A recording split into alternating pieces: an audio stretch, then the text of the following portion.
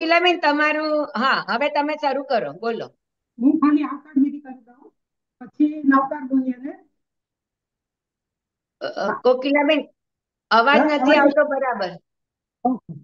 એક મિનિટ હા. હા. આવે છે હવે? હા હવે આવે છે હા. હા તો આકાર વિધિ કરું છું. અને પછી નવકાર બોલાવું છું. રીતા નથી આવતો અવાજ અવાજ આવશે લિંકી જશે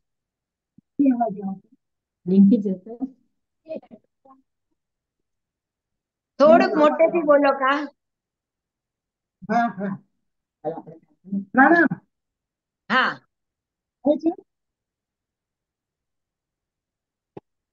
અવાજ આવ્યો? અવાજ આવે છે પણ વયો જાય છે. થોડો આવે ને પછી વયો જાય છે. હા કેમ થાય છે? એક મિનિટ.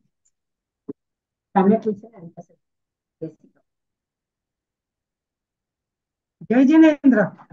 હા. આવે છે? અવાજ આવે છે પછી વયો જાય છે પાછો પણ હવે બોલો તમે એટલે હું કહીશ કે હવે બરાબર આવે છે કે નહીં. સ્થાપક પ્રમુખ શ્રીમતી કલાબેન શેઠ ફેડરેશનના પ્રમુખ ડોક્ટર રીતાબેન પારેખ. પાંચ પ્રેસિડેન્ટ ગેલેક્સી તથા મારી વાલી બહેનો ગોરેગાંવ મહિલા મંડળ તરફથી આજના પ્રોગ્રામમાં હું આપનું સ્વાગત કરું છું. આવે છે બરાબર?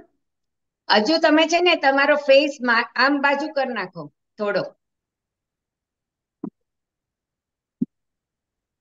હા. હવે બોલો.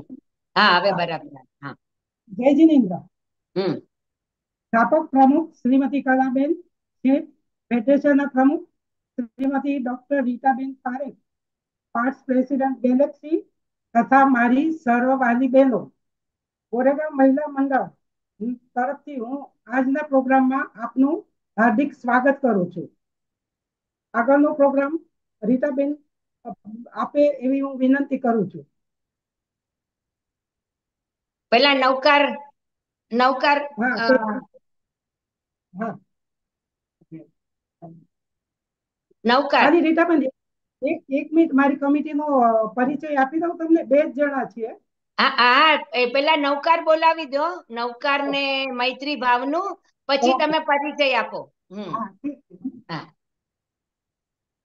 આપણે સૌ પ્રથમ નૌકાર મંત્રનું પઠન કરીશું. થોડું મોટેથી બોલજો ને એક જ જણ બોલજો.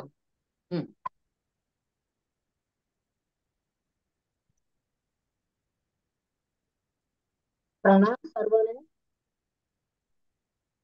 અવાજ બરાબર છે? હા.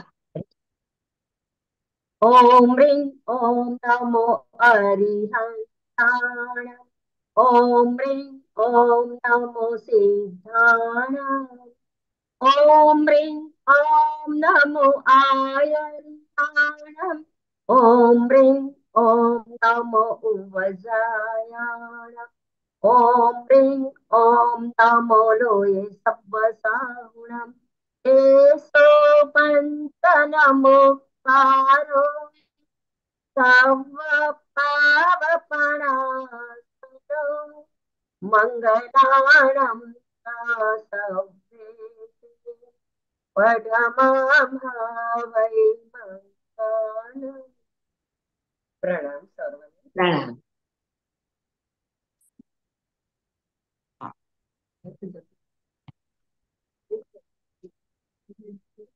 હમ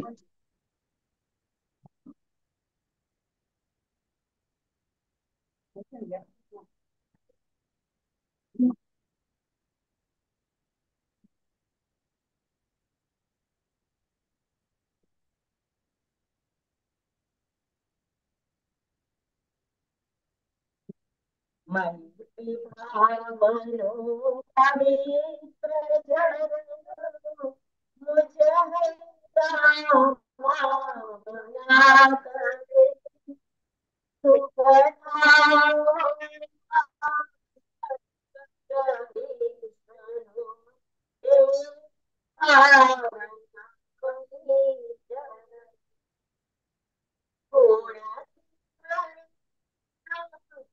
એક જ જણ બોલો એક જ જણ બોલો એક જ જણ બોલો હમ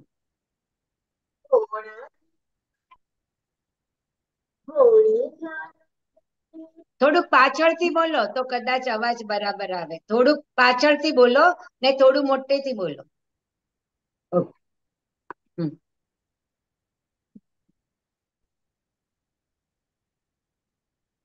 હવે આવે છે બરાબર આવે હા હા ઘોડાથી ઘરે ઘોડી સના દેખી હૈયું મારો નાટક એ સંતોના ચરણ કમલ મુજ જીવનનો અધ્યર દીના ક્રૂરને ધર્મ વિહોણા દેખી કરુણાભી આંખોમાં અશ્રુનો અશ્રુ દ્રવ મૈત્રી ભાવનો પવિત્ર ઝરણો મુજ હૈયામાં વયા કરે શુભ થાવ સકલ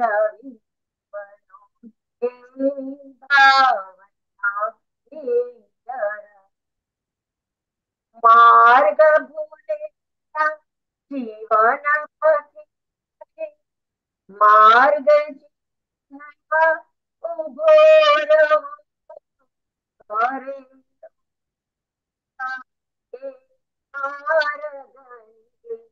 કોઈ સમતા ચિત્ત ધરો ધર્મ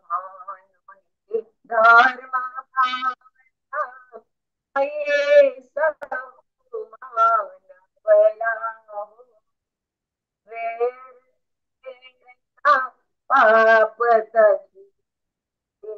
મંગલ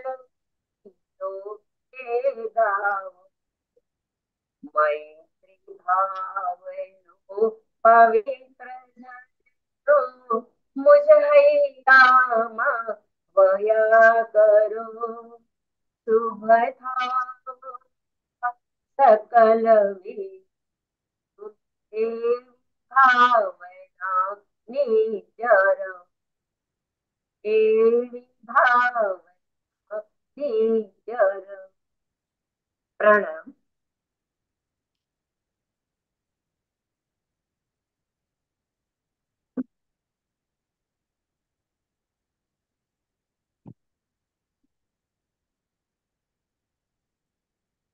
આવે છે રિટર્નિંગ બરાબર આવે? હા. બરાબર આવ્યો? હમ. હવે હું મારો ખાલી એક મિનિટમાં અમારા કમિટીનો પરિચય આપી દઉં તમને. આ મારા આ મારા ખજાનચી છે જોસનાબેન શાહ. પ્રણામ જોસનાબેન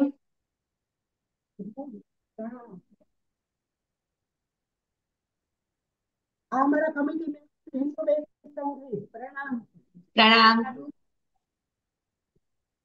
આ અમારા બીજા committee member Kanakben Shah. Kanakben Shah. Hmm. આ અમારા છોકરા આપના ડોક્ટર નીલિમા ઇનામદાર ડોક્ટર પ્રણામ નીલિમાબેન. પ્રણામ. પ્રણામ. મારા પણ બધા પ્રણામ. કોકિલાબેન શાહ.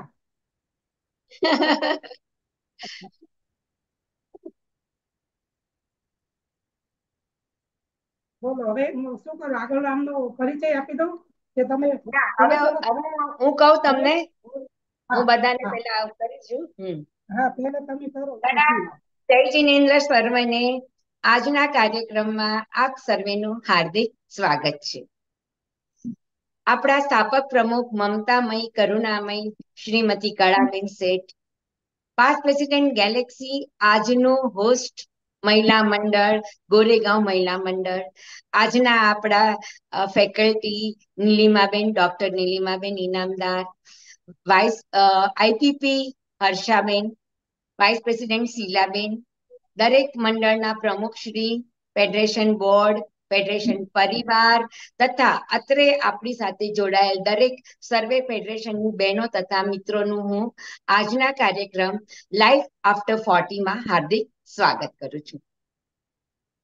આજે આપણે ઓગણ, ઓગણસાઠ, ફિફ્ટી નાઇન્થમો ડોર ઓપન કરી રહ્યા છીએ આપણી માસ્ટર કીથી. અને આ ઓગણસાઠમો ડોર છે, આપણું માસ્ટર કી છે ખોજ. નજરને છે નજારાની ખોજ, મનને છે સુખની ખોજ, અને આત્માને છે શાંતિની ખોજ. આપણે માનવ માત્ર સતત ખોજમાં મગ્ન રહીએ છીએ. આપણને હંમેશા એક તલાશ, એક ઝંખના હોય છે કે મને આ જોઈએ છે. અને એના હિસાબે આપણે સતત એક તાણમાં જીવીએ છીએ. અને એના હિસાબે આપણે સ્ટ્રેસ ફીલ કરીએ છીએ, આપણા મનમાં અશાંતિ અનુભવીએ છીએ.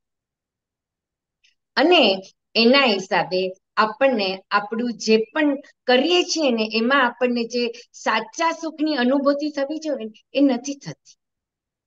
આપણે હંમેશા વિચારોમાં જાગતા, ઊંઘતા, જાગ્રત મનમાં, અર્ધ જાગ્રત મનમાં સતત એક તલાશમાં રહીએ છીએ, તૃષ્ણામાં રહીએ છીએ.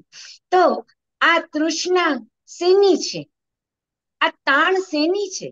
તો એની માટે આપણે આપણી ખોજ જેની આપણે કરી રહ્યા છે એના મૂળમાં આપણે જઈશું. તો ખબર પડશે કે આ ખોજ શેની છે અને શેની માટે છે.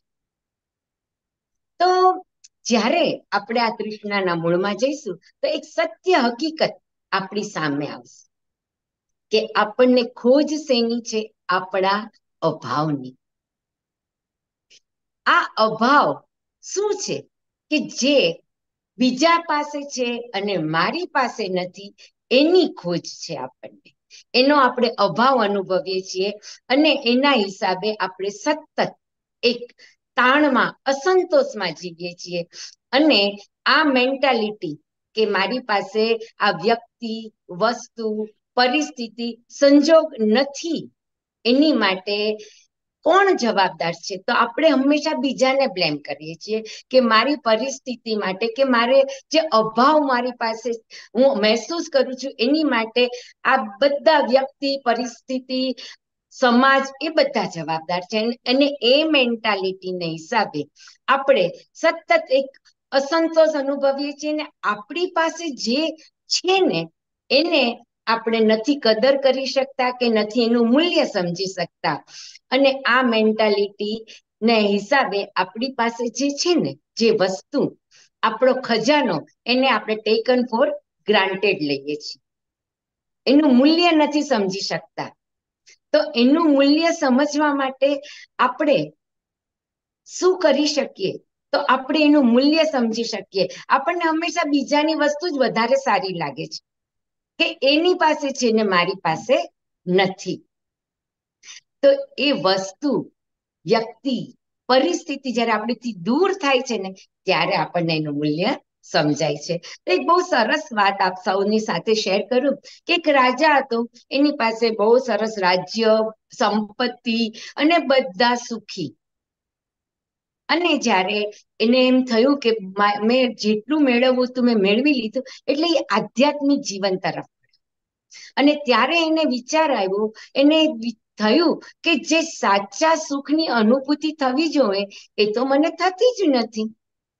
મને સતત કંઈક ને કંઈક ખૂટતું લાગે છે. એટલે એને તો સૈનિકોને ચારે બાજુ દોડાવ્યા કે તમે જાઓ અને જેટલી સંપત્તિ જોવે એટલી આપો.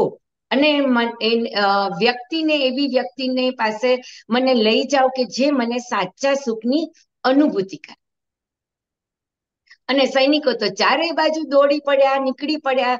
અંતે ઘણી બધી રજળપાટને આ પછી એક સૈનિક સમાચાર લાવ્યો કે આ ફલાણા ગામમાં એક ફકીર છે. અને એ કહે છે કે હું રાજાને સાચા સુખની અનુભૂતિ કરાવીશ. એટલે રાજા તો એનું સોનામોરનું મોટું પોટલું લઈ અને પહોંચી ગયો એની પાસે ફકીર પાસે. અને ત્યાં જઈ અને એ પોટલું મૂક્યું અને કીધું કે ફકીર બાબા, મને સાચા સુખની અનુભૂતિ કરાવો. તો ફકીરે શું કર્યું? એને શું કર્યું? કે રાજાનું પોટલું લઈ અને ભાગવા માંડ્યો. તો રાજા તો કે ઓને મારી સંપત્તિ, મારું પોટલું લઈને ભાગી ગયો. એટલે રાજા એની પાછળ ભાગ્યા. આગળ ફકીર દોડે, પાછળ રાજા દોડે. આખા ગામમાં ફકીર દોડે, આખા ગામમાં રાજા દોડે. રાજા થાકીને લોત પોત પસીને રેબ જેબ અને પછી એક જગ્યાએ થાકીને બેસી ગયા રાજાજી. કે હવે હું નહીં દોડી શકું. અને ત્યારે ફકીરે આવી ને એના હાથમાં એ પોટલું મૂક્યું. અને જેવું પોટલું હાથમાં આવ્યું, એટલે રાજાએ તો એને જકડી લીધું પોટલું, કે આ તો મારું છે. ત્યારે ફકીરે પૂછ્યું કે રાજાજી, શું અનુભૂતિ થઈ? ત્યારે રાજાને ખબર પડી કે સાચા સુખની અનુભૂતિ તો જ્યારે મારી વસ્તુ ગઈ અને એને પાછી મેં મેળવી, ત્યારે તે જે મારી પાસે હતી, ત્યાં સુધી મને એની કિંમત નહોતી, એની કદર નહોતી. તો સખી મિત્રો, આ વસ્તુ શું સમજાવે છે? કે દુઃખ અભાવમાં છે અને સુખ સ્વભાવમાં છે. આપણે હંમેશા પરિસ્થિતિને બદલવાની કોશિશ કરીએ છીએ, વ્યક્તિને બદલવાની કોશિશ કરીએ. એની બદલે જો આપણે આપણા ખુદને બદલીએ, કે જેની માટે થઈને આપણે આ બધું કરીએ, તો આપણે ખુદને બદલીએ, આપણા સ્વભાવને બદલીએ, તો સુખની અનુભૂતિ અને સુખ હંમેશા આપણી સાથે જ રહેશે. તો સખી મિત્રો, આપણે આ મોજની ખોજ આખી દુનિયામાં કરીએ.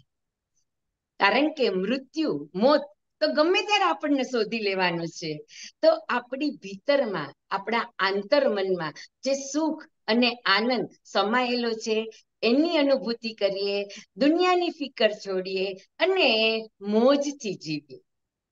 તો આ ખોજની ઓગણસાઠની માસ્ટર કી સાથે આપ સર્વેનું હું, ફેડરેશન ઉજાસ ચોત્રીસમાં હાર્દિક સ્વાગત કરું છું. અને આજનો કાર્યક્રમ છે, ધ લાઈફ આફ્ટર ફોર્ટી. જે લઈને આવી રહ્યું છે ગોરેગાંવ મહિલા મંડળ. આપણે આપણા જીવનના દરેક પડાવમાં આપણને અલગ અલગ અનુભવ થાય છે. આપણી શારીરિક ક્ષમતામાં પણ સમયાંતરે બદલાવ આવતો જાય છે. શા માટે? આપણા શરીરમાં શું ચેન્જીસ આવે છે? આપણે એવું ઈચ્છીએ છીએ કે નાના હતા એવા જ રહીએ તો તો એમ થાય કે ના ના, આપણે યુવાન હતા એ વધારે સારું હતું. તો યુવાન રહીએ પણ એ કોઈ અવસ્થા આપણી શાશ્વત નથી. દરેક અવસ્થા બદલાયા જ કરે છે. હોર્મોનલ ચેન્જ થયા કરે છે અને એના હિસાબે આપણને શારીરિક ફેરફાર થાય છે. તો આગળ જેમ મેં કહ્યું એમ, ઉંમર આપણને ચેન્જ કરી શકે છે. ઉંમરનો બદલાવ આપણા શરીર પર આવે, આવી શકે છે. પણ મન આપણું હંમેશા યંગ કે આપણે જેવું ઈચ્છીએ એવું રાખી શકીએ છીએ, તો આ ઉંમરના દરવાજા ઉપર બધી મુશ્કેલી અને સમસ્યાને આપણે અટકાવી દઈએ અને એ અટકાવવી કેવી રીતે? કારણ કે આપણા મનને આપણે સમજાવવું પડશે, આપણા શરીરને સમજાવવું પડશે, આપણા શરીરને શું જરૂરિયાત છે, આપણા મનની શું જરૂરિયાત છે, એ પૂરી કરશું. તો આ દરવાજાની બહાર આપણે બધું જ રાખી અને ખૂબ પ્રેમથી આપણું જીવન જીવી શકીશું. તો life after forty is very very precious for us કારણ કે સાચું જીવન તો હવે જ શરૂ થાય છે. તો આજે એક સરસ મજાના જીવનની સફર પર આપણને લઈ જશે ગોરેગાંવ મહિલા મંડળ અને એ સફર આપણને કરાવશે ડોક્ટર નીલિમાબેન ઇનામદાર તો હવેની સફર આપણે કરીએ ગોરેગાંવ મહિલા મંડળની સાથે.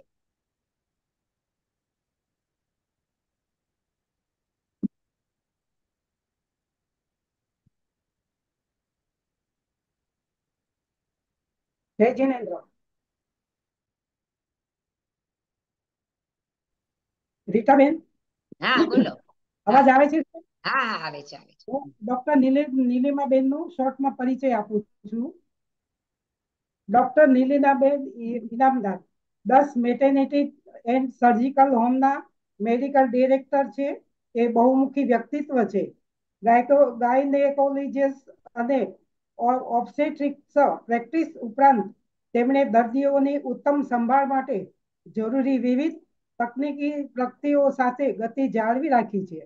મહિલાઓના ઉત્થાન માટે તેમણે બે હજાર ત્રણમાં ફેડરેશન ઓફ ઓબ્સ્ટેટ્રિક એન્ડ ગાયનેકોલોજીસ્ટની સોસાયટી ઓફ ઇન્ડિયા તરફથી કિશોર કન્યાઓમાં જાગૃતિ વધારવા માટે પારિતોષિક એનાયત કરવામાં આવ્યો હતો.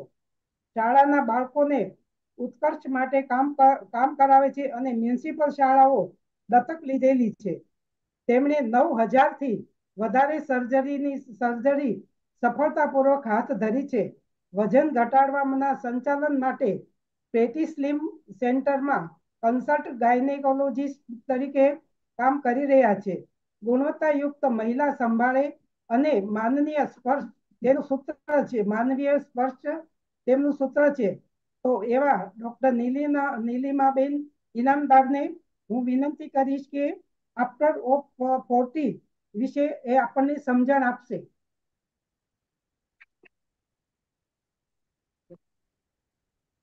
વેલકમ નીલિમાબેન. છે?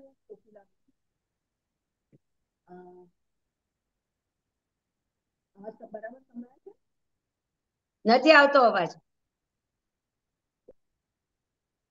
હવે આવે છે? હા હવે આવે છે. ગોરેગાંવ ઘોઘાડી મહિલા મંડળ ફેડરેશન ઓજસ રીટાબેન પારેખ કોકિલાબેન અને સમસ્ત ફેડરેશનના મહિલાઓ. સાદર પ્રણામ. આજનો ટોપિક લેવાનું બહુ ઇમ્પોર્ટન્ટ કારણ એવું છે કે માણસ તમે સેજ. પહેરો ને સેજ તમારું સ્પીકર તમારી બાજુ કરો ને સેજ. સ્પીકર.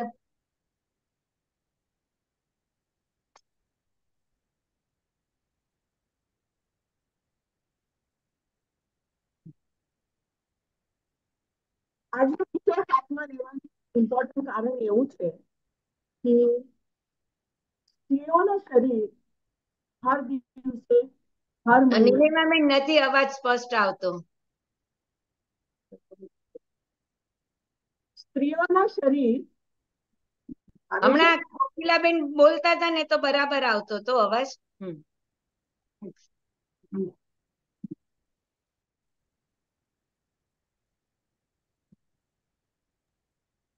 આંટી અગર આના પછી પણ ન આવે ને બરાબર તો એક ફોનથી જોઈન કરી દેજો અને લેપટોપ પર અવાજ મ્યુટ કરી દેજો એટલે લેપટોપથી સ્ક્રીન શેર થઈ શકે પણ ફોનથી અવાજ બરાબર સંભળાશે.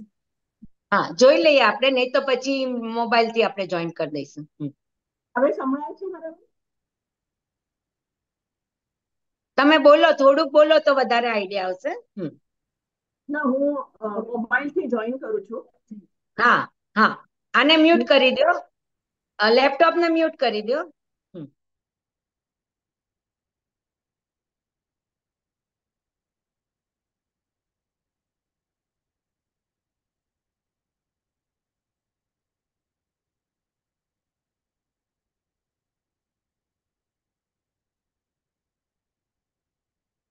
તમારો કયા મોબાઈલથી જોઈન કરો છો? એ જરાક નામ કયો એટલે એને આપણે હોસ્ટ બનાવી દઈએ.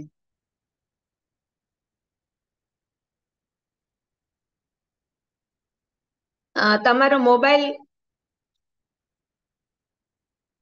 કયો છે? મોબાઈલ જોઈન કર્યો? જો કોકિલાબેન ને મોબાઈલથી હું જોઈન કરું છું. અને લેપટોપ ઉપર એ ચાલુ જ રહેશે. લેપટોપ મ્યુટ કરું છું.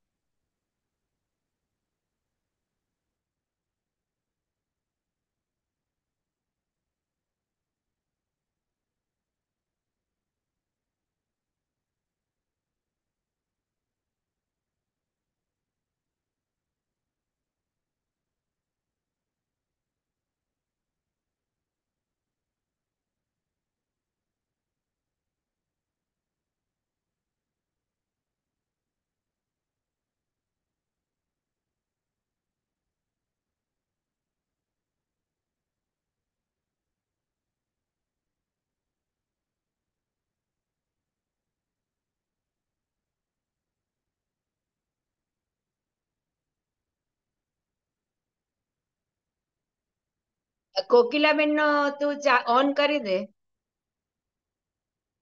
કોકિલાબેન નો જોઈન કર્યો છે હમ. હા, કોકિલાબેન જોઈન કર્યા ને એને હોસ્ટ કોસ્ટ બનાવી દે. તમારું હવે અનમ્યુટ જાતે કરી શકશો તમે? મોબાઈલ અનમ્યુટ કરો મોબાઈલ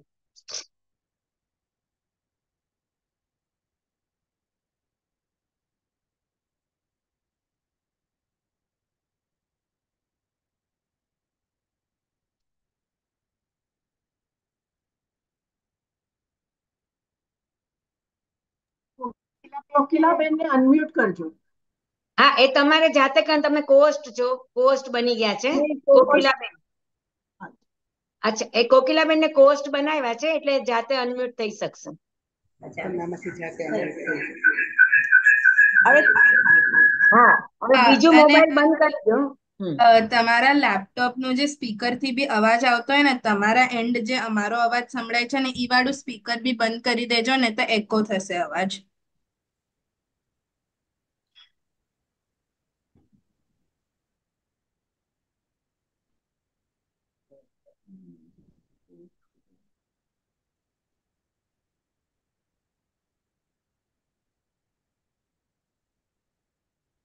એમને ક્યાં છે એ બતાવો, વાત કર. તમારું જે લેપટોપનું સ્પીકર બી હોય ને, આપણે વોઇસ આવે ને લેપટોપમાંથી આપણે અગર કોઈ વીડિયો જોતા હોય તો આપણું વોઇસ આવતું એ વોઇસ બી બંધ કરી દેજો. એટલે લેપટોપમાં કઈ ઓડિયો કનેક્ટેડ નહીં રાખતા. તમને બી લેપટોપથી અમારો અવાજ ના આવવો જોઈએ. ફોનથી જ સાંભળજો.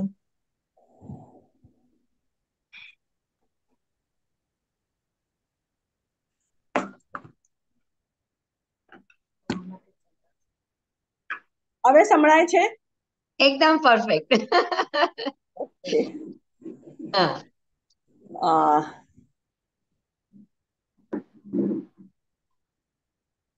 screen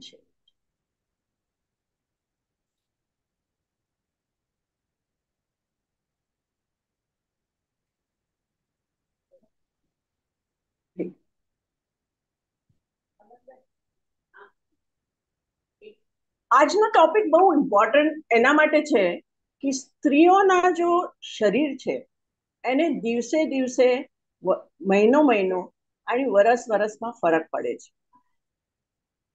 તમને યાદ હશે, તમે જ્યારે સ્કૂલમાં હતા અને જ્યારે તમે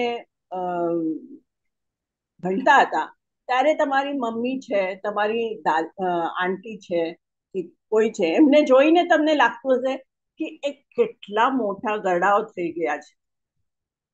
હું બહુ નાની છું.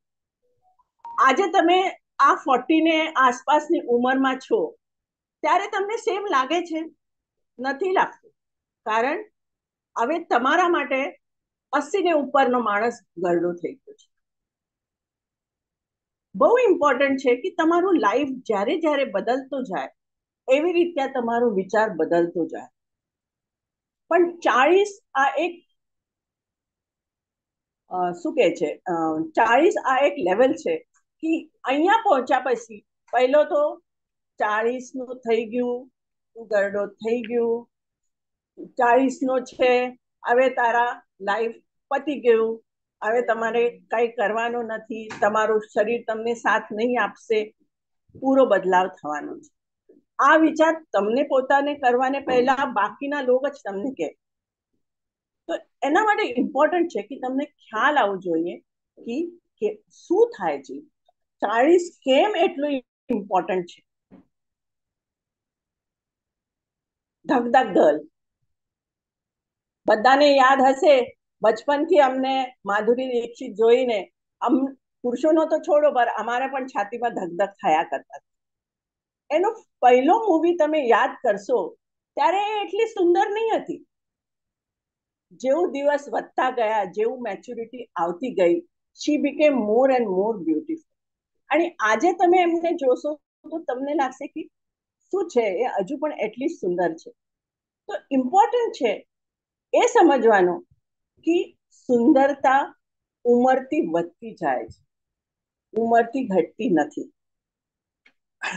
એના માટે પહેલા તો આપણને જોવું પડશે કે એજિંગ માને શું? ઉંમર થાય માને શું થાય છે? તમને ખ્યાલ હશે કે તમે લોખંડના પાઇપ લો, તો એ લોખંડના પાઇપમાં ગંજ ચડે. એ જો ગંજ ચડે છે, એ ધીરે ધીરે ઇનકેસ વધતું જાય, એ ગંજ તમે સાફ નહીં કરો, ધીરે ધીરે વધતું જાય એક્યુમ્યુલેટ થતું જાય. એવી રીતે આ પાઇપનું કામ કરવાનું ઓછું થઈ જાય. સેમ સિમિલરલી અમારા શરીરમાં પણ અમારા જો સેલ્સ છે, જો એનું કામ પતી જાય, જે ડેમેજ થાય, એ એક્યુમ્યુલેટ થતા જાય.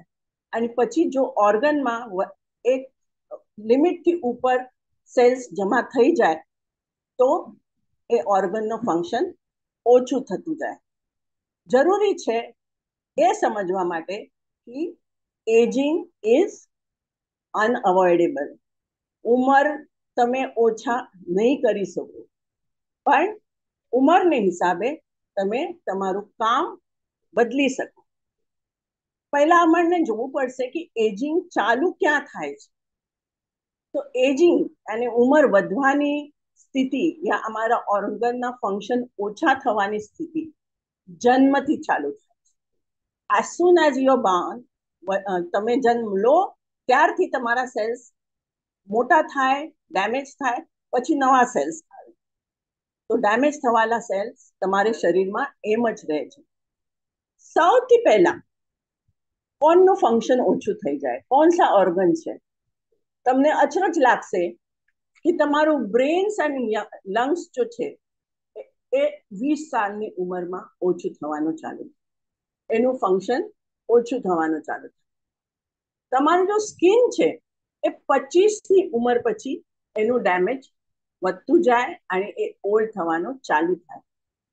તમને ખ્યાલ નહીં આવશે કે એ ચાલુ થઈ ગયું છે.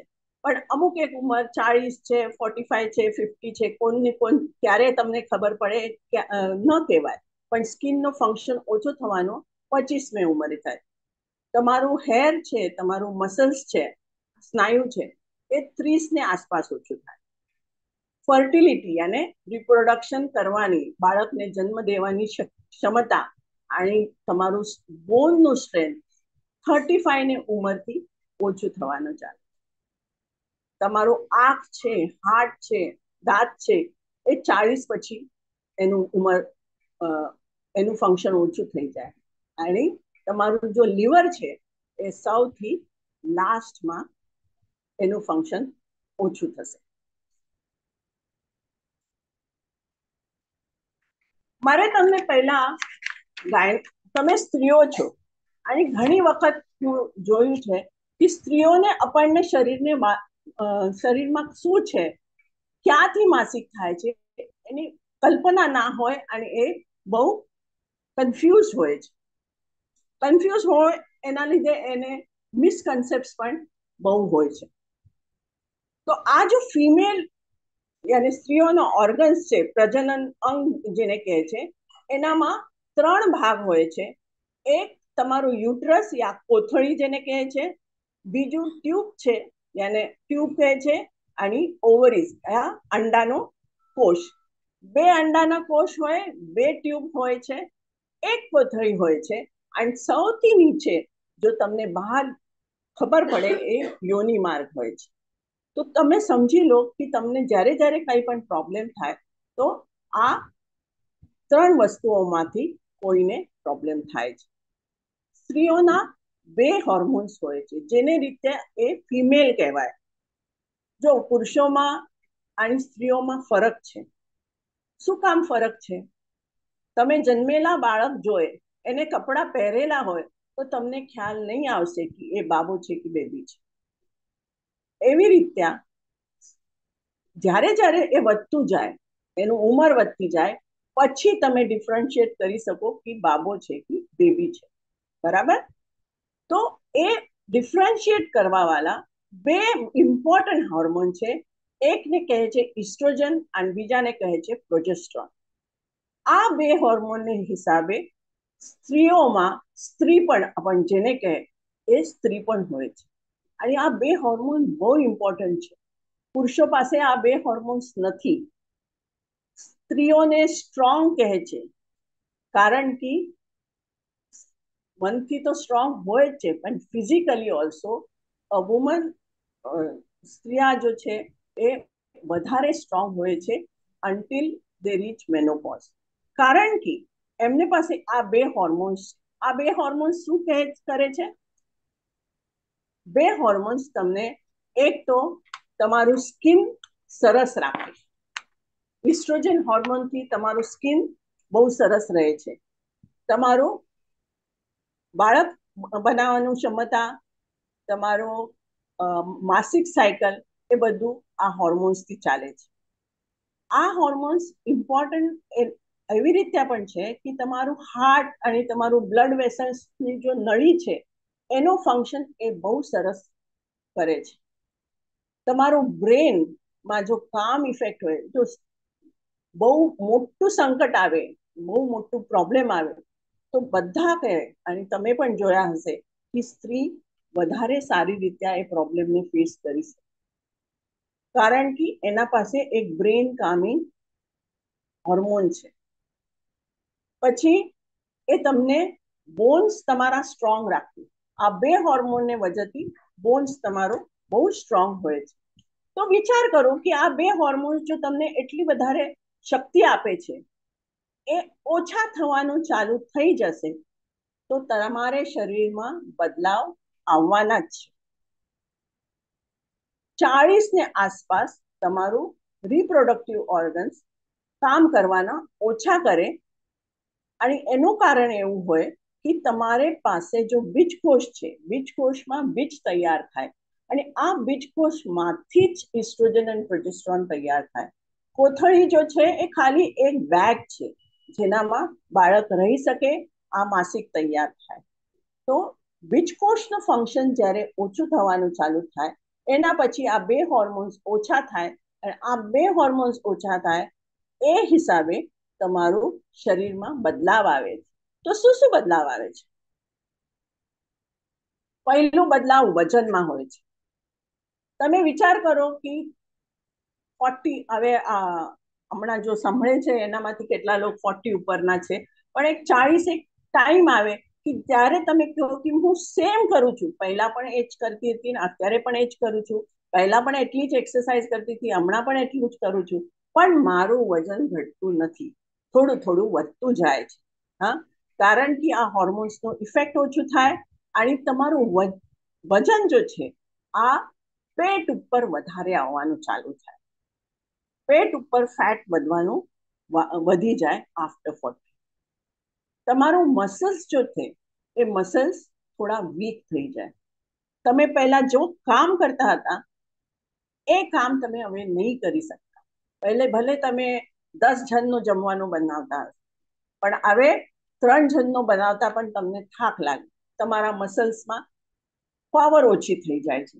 એન્ડ પાવર ઓછી થાય તો તમારી કામ કરવાની શક્યતા ઓછી થાય. જોઈન્ટ્સ જો છે, એ જોઈન્ટ્સ બોન્સ જો છે, એ વીક થતું જાય બિકોઝ જો હોર્મોન્સ આર નોટ ડે તો તમારું કેલ્શિયમ એબ્ઝોર્પ્શન એન્ડ વિટામિન ડીનું એબ્ઝોર્પ્શન ઓછું થાય અને બોન્સ વીક થઈ જાય. અને એ બોન્સ વીક થવાને વજહથી તમને પાક પગ દુખાવાનો, શરીરમાં દુખાવાનો, તમારે આર્થરાઇટિસનો પ્રોબ્લેમ, એ બધું ચાલુ. હાર્ટનો ડિઝીઝ, મેનોપોઝ પછી બેથી ત્રણ ટાઈમ વધારે હોય છે. શું હોય છે કે તમારું નળી, જેની ફ્લેક્સિબિલિટી તમારા હોર્મોન્સ કંટ્રોલ કરતા હતા, એ હવે સ્ટીફ થઈ જાય. અને સ્ટીફ થઈ જાય એ હિસાબે એનું પમ્પિંગ ઓછું થાય. અને સ્ટીફ થઈ જાય એના માટે એને અંદરનો જો જંગ છે એ વધારે એક્યુમ્યુલેટ થાય અને એ હિસાબે બ્લડ પ્રેશર વધે. બ્લડ પ્રેશર વધે તો હાર્ટનો પ્રોબ્લેમ આવે સ્ટ્રોક આવી શકે, અલગ અલગ રીતે પ્રોબ્લેમ્સ આવી શકે. બ્રેસ્ટ હવે બ્રેસ્ટમાં તો બધાને ખબર છે કે જેવું ઉંમર વધતી જાય બ્રેસ્ટમાં જો સોફ્ટ ટીશ્યુ હોય છે, જો પકડીને રાખે છે નોર્મલ બ્રેસ્ટમાં કોઈ પણ મસલ નથી, સ્નાયુ નથી એ ખાલી સોફ્ટ ટિશ્યુ એન્ડ ફાઇબ્રસ ટિશ્યુથી જ બને છે. તો એને પકડીને રાખવાની જો ઇલાસ્ટિકસિટી હોય છે, એ ઓછું થઈ જાય અને એના માટે બ્રેસ્ટ સેગ થવાનું ચાલુ થાય. ખબર નહીં લૂઝ થઈ જાય. તો બ્રેસ્ટ લૂઝ થઈ જાય. પછી તમારું જો પેલ્વિક પેલ્વિસ છે, મને કમરને નીચેનો જો ભાગ છે ત્યાંના સ્નાયુ વીક થઈ જાય અને વીક થઈ જાય એના માટે એ લૂઝ થઈને કોકવાર તમારા ઓર્ગન્સ પકડીને નહીં રાખે. તમારો યુટ્રસ પકડીને ના રાખે અને એ નીચે આવવાનું ચાલુ થઈ જાય. જે હિસાબે શરીર બહાર આવવાની પ્રોબ્લેમ થાય યુરિન કંટ્રોલમાં પ્રોબ્લેમ થાય. લુબ્રિકેશન લુબ્રિકેશન મને આપણને કન્ટિન્યુઅસ એક જાતનું શ્રાવ અંદરની યોની ભાગમાં તૈયાર થતું હોય, જેને આપણે ડિસ્ચાર્જ કહી શકે પણ એ બહુ મામૂલી પ્રમાણમાં હોય જો તમને ખબર ના પડતું હોય. પણ ચાળીસ પછી એ લુબ્રિકેશન ઓછું થઈ જાય અને ડ્રાયનેસ આવે. અને ડ્રાયનેસના હિસાબે તમને ડ્રાયનેસનો પ્રોબ્લેમ્સ ઇન્ફેક્શન છે ડિસ્ચાર્જ પ્રોબ્લેમ છે, એ ચાલુ થાય. સ્કિનનો તો આપણને વાત કરી સ્કિનની જો ઇલાસ્ટિસિટી છે, આજે હું મારે ચમડી પકડીને ઉપર ઉઠાવું, તો ઉઠતું નથી. પણ જેવી રીતે હું હવે ઓલ્ડ થતી જાઉં, એવી રીતે એ સ્કિન જો છે એ પકડીને રાખવાની શક્યતા શરીરમાંથી ઓછું થઈ જાય અને એના માટે વ્રિંકલ્સ આવે છે, સ્કિન લૂઝ થઈને લટકે છે. વાલોમાં બદલ આવે છે કે વાલ તમારા થીન થતા જાય. અને પહેલે તમને બહુ મસ્ત વાલ હોય છે. વાલ ઓછા પણ થઈ જાય અને એની જો ઘનતા છે એ ઓછી થઈ જાય. તો થિનિંગ ઓફ હેર હવે ચાલુ થઈ જાય અને બાળ વધવાની પણ ક્ષમતા ક્ષમતા ઓછી થઈ જાય. તો હવે આપણને જોયું કે આપણને બોડીમાં ચાળીસ પચીસ શું શું તકલીફ થયું છે. તો હવે પ્રોબ્લેમ્સ આવે છે બોડી ચેન્જ થઈ ગયું છે, તો ચેન્જ થયેલે બોડીમાં હવે ડિઝીઝ પણ આવશે. ચાળીસ પછી કોઈ ના કોઈ ડિઝીઝીસ ચાલુ થઈ જાય છે. તો શું ડિઝીઝીસ કોમન છે? સ્ત્રીઓમાં. આપણને ખાલી હવે સ્ત્રીઓ ઉપર ધ્યાન રાખે રાખે છે. તો સ્ત્રીઓમાં ચાળીસ પછી શું ડિઝીઝ આવવાની શક્યતા વધી જાય? એ ના કહું કે હરેક જણને એ જ ડિઝીઝ થશે. બરાબર? પણ શક્યતા વધી જાય. પહેલા તો ઇન્ફેક્શન તમારું વજાઇનલ ઇન્ફેક્શન અને વ્હાઇટ ડિસ્ચાર્જનું પ્રોબ્લેમ વધી જાય. યુરિનમાં ઇન્ફેક્શન થવાની શક્યતા વધતી જાય. વારંઘડી યુરિન ઇન્ફેક્શન તમને થતું જાય. માસિકમાં પ્રોબ્લેમ માસિક બરાબર નહીં આવે, કોઈ કોઈ વખત જલ્દી આવે, કોઈ કોઈ વખત વધારે આવે, કોઈ કોઈ વખત ઇરેગ્યુલર આવે ટાઈમ પર ના આવે, એ બધું પ્રોબ્લેમ્સ ચાળીસ પછી આવવાનું થઈ ફાઇબ્રોઇડ્સ. ફાઇબ્રોઇડ્સ તમને નામ તો સાંભળેલું હશે.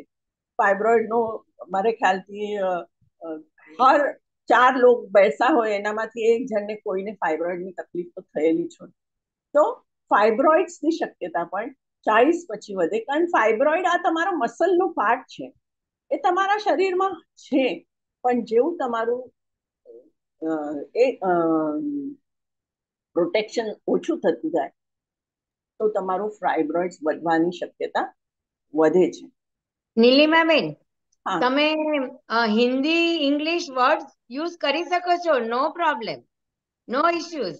મારી ગુજરાતી જરા એકદમ એટલે તમે હિન્દી કે ઇંગ્લિશ વર્ડ પ્રેમથી યુઝ કરો નો પ્રોબ્લેમ.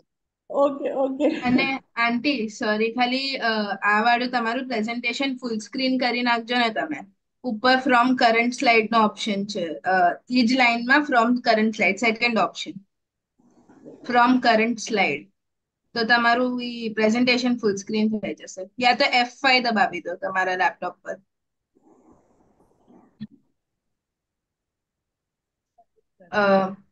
એક સ્લાઇડ શો સ્લાઇડ શો ઈ જ લાઈનમાં સ્લાઇડ શો છે. આવતું નથી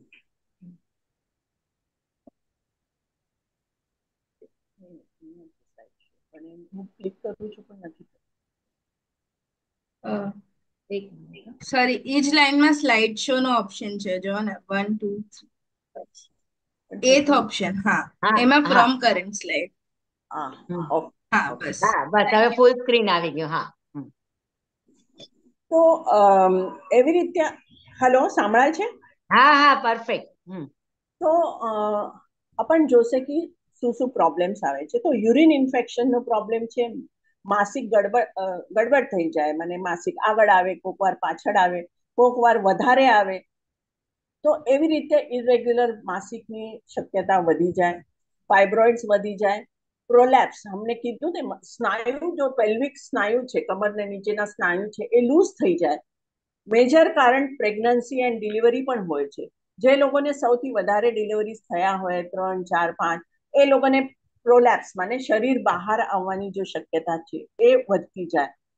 સ્ટ્રેસ ઇન્કોન્ટિનન્સ માને તમારામાં પેશાબ પકડી રાખવાની જો શક્યતા હોય એ ઓછી થઈ જાય કારણ ખાંસી આવે, શરદી આવે છીંક આવે, કોકવાર તો એટલું વધતી જાય કે તમે હસો તો પણ પેશાબ બહાર આવે જેને આપણે સ્ટ્રેસ ઇન્કોન્ટિનન્સ કહે છે. પછી ઓવરીમાં ગાંઠો થવાની શક્યતા વધી જાય અને કેન્સર્સ તો એ આપણને હરેક ચીજ એક થોડા વિસ્તારમાં લેશે. ઇન્ફેક્શન ઇન્ફેક્શન બે હિસાબનું હોય છે. એક તો એકચ્યુઅલ ઇન્ફેક્શન માને બેક્ટેરિયા છે વાયરસ છે ફંગસ છે, એનું ઇન્ફેક્શન થઈ શકે. પણ વગર ઇન્ફેક્શન નોન ઇન્ફેક્ટિવ પણ ડિસ્ચાર્જ હોય છે. અને ઇચિંગ બર્નિંગનો પ્રોબ્લેમ થાય, પણ એને એકચ્યુઅલ ઇન્ફેક્શન ના હોય. દેટ ઇઝ મેઇનલી બીકોઝ એનામાં ડ્રાયનેસ આવે છે. મને સૂકો થઈ જાય. જ્યારે સૂકો થઈ જાય તો એનામાં ખંજાવડ આવે ઇરિટેશન થાય અને આ પ્રોબ્લેમ થાય. તો એને નોન ઇન્ફેક્ટિવ વજાઇનાઇટિસ જરૂરી છે કે તમને જ્યારે પણ તકલીફ થાય, તમે ડૉક્ટરને બતાવો. કારણ હરેક વખતે તમને કોઈ ને કોઈ ઇન્ફેક્શન જ છે એવું ના બને.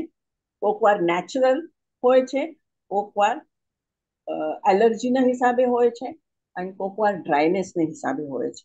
જેવું ઉંમર વધતી જાય મેનોપોઝલ લોકોમાં તો બહુ વધારે પ્રમાણમાં એ નોન ઇન્ફેક્ટિવ વજાઇનલ ઇચિંગ બર્નિંગનો પ્રોબ્લેમ હોય છે. એની ટ્રીટમેન્ટ શું છે? એક તો પહેલા જ્યારે ઇન્ફેક્ટિવ ઇન્ફેક્શન હોય છે, ત્યારે બંનેની ટ્રીટમેન્ટ કરવાનું જરૂરી છે. એ ઇમ્પોર્ટન્ટ હાઇલાઇટ છે કે તમે ખાલી સ્ત્રીને ટ્રીટમેન્ટ આપ્યા કરો આપ્યા કરો. મારે પેશન્ટ આવે છે મારી પાસે. દસ ડોક્ટર ફરીને આવે છે અને કહે છે, મેડમ, એટલા બધા દવા ખાધા છે, પણ મને કંઈ ફાયદો નથી થતો. ત્યારે મને એને પૂછવું પડે, તમારે હસબન્ડને ટ્રીટમેન્ટ કર્યું ના ના, મારા હસબન્ડ તો બહુ સરસ છે, એને કાંઈ પ્રોબ્લેમ નથી. પણ તમે ભૂલી જાઓ છો કે તમારું ચમડી ને હસબન્ડની ચમડી અલગ છે. તમારા ચમડીમાં જો તકલીફ થાય છે ઇરિટેશન બની એ એમને જો ટાઈપની ચમડી હોય છે, એના ઉપર નહીં થાય. તમે ટ્રીટમેન્ટ લો સારા થઈ જાઓ. પછી સંબંધ આવે હસબન્ડ સાથે ઘરેથી ઇન્ફેક્શન ચાલુ થાય.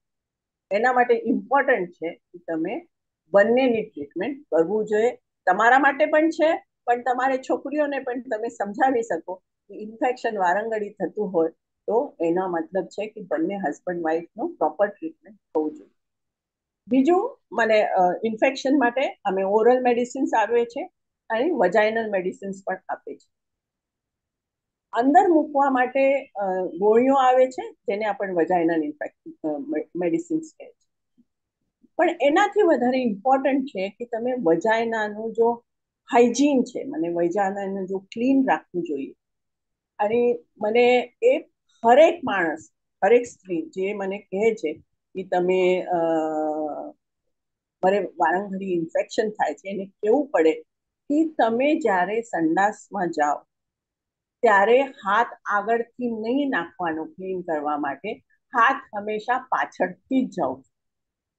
કારણ તમે જ્યારે પાછળ આગળથી હાથ નાખો તો એ ઇન્ફેક્શન તમે વજાયના પાસે લઈ આવો છો. કારણ તમારો, તમને ખબર છે કે તમારા સ્ટૂલ્સમાં ઘણી બધી ઇન્ફેક્શન તો રિમેમ્બર હર ટાઈમે તમે પેશાબ જાઓ, સંડાસ જાઓ, ત્યારે એક તો હાથ પ્રોપરલી વોશ જોઈએ. તમે બહારથી આવેલા હોય ત્યારે તમારા હાથમાં શું ઇન્ફેક્શન તમે ખબર નથી. અને એ જ હાથ તમે વજાયનામાં એનામાં નાખો તો પછી તકલીફ થઈ તો ક્લીન વજાયના ઇઝ ઇમ્પોર્ટન્ટ પણ હવે આજકાલ જો ઘણા બધા તમને એ ડુશીસ આવે છે અંદર નાખવા માટે કોઈ લિક્વિડ આવે છે કે એનાથી તમે ક્લીન કરો, તમારા વજાયના બહુ સારું થઈ જશે. નહીં. એનાથી એલર્જીક રિએક્શન બહુ વધારે પ્રમાણમાં થાય છે. નેવર યુઝ કોઈ પણ જાતનું દૂષ છે, કોઈ પણ વજાઇનલ ક્લિનિંગ એજન્ટ સ્પેશિયલ આવે છે. પહેલા તો જમાનામાં કોઈ સાબણ પણ નહીં હતું. પણ હવે તમે અલગ અલગ અલગ વજાયના માટે અલગ, હાથ માટે અલગ ફેસ માટે અલગ સોલ્યુશન્સ આવે છે. તો તમે કોઈ જાતનું સોલ્યુશન નહીં વાપરવાનો ક્લીન વોટરથી સાફ કરવાનો, કારણ ત્યાંનું સ્કિન બહુ નાજુક હોય. એને તરત એલર્જી આવે, એનામાં તરત રેશિસ આવી જાય. તો better you have clean water and nothing else no douches અને અંદર કંઈ પણ પાણી નાખવાનું નથી વજાયના ક્લીન રાખવા માટે. બહાર જાઓ, ત્યારે સંડાસ બાથરૂમ્સ ક્લીન છે કે નથી એ જોયા વગર તમે આગળ you have to take care તો એ થયું વજાઇનલ હાઇજીન હવે યુરિન ઇન્ફેક્શન યુરિન ઇન્ફેક્શન જો છે, એ તમને મારે ખ્યાલથી નાઇન્ટી નાઇન પર્સન્ટ સ્ત્રીઓને થાય જ છે. થયેલું હોય ક્યારે ના ક્યારે. એના ઇમ્પોર્ટન્ટ કમ્પ્લેન જો સ્ત્રીઓને હોય છે. એ બળતરા યુરિન કરતે વખતે જલન થાય છે. વારંઘડી પેશાબ માટે જવું પડે છે.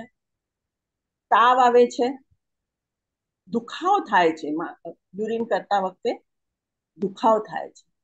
અને યુરિન ઇન્ફેક્શન જો છે, એનું સૌથી ઇમ્પોર્ટન્ટ કારણ છે પાણી. પાણી તમે ઓછા પીઓ તો તમને યુરિન ઇન્ફેક્શન થવાનો છે. યાત્રા કરીને આવો. Hundred percent urine infection. કારણ પાણી ઓછું પીવાનું, પેશાબ માટે જવાની જગ્યા નથી.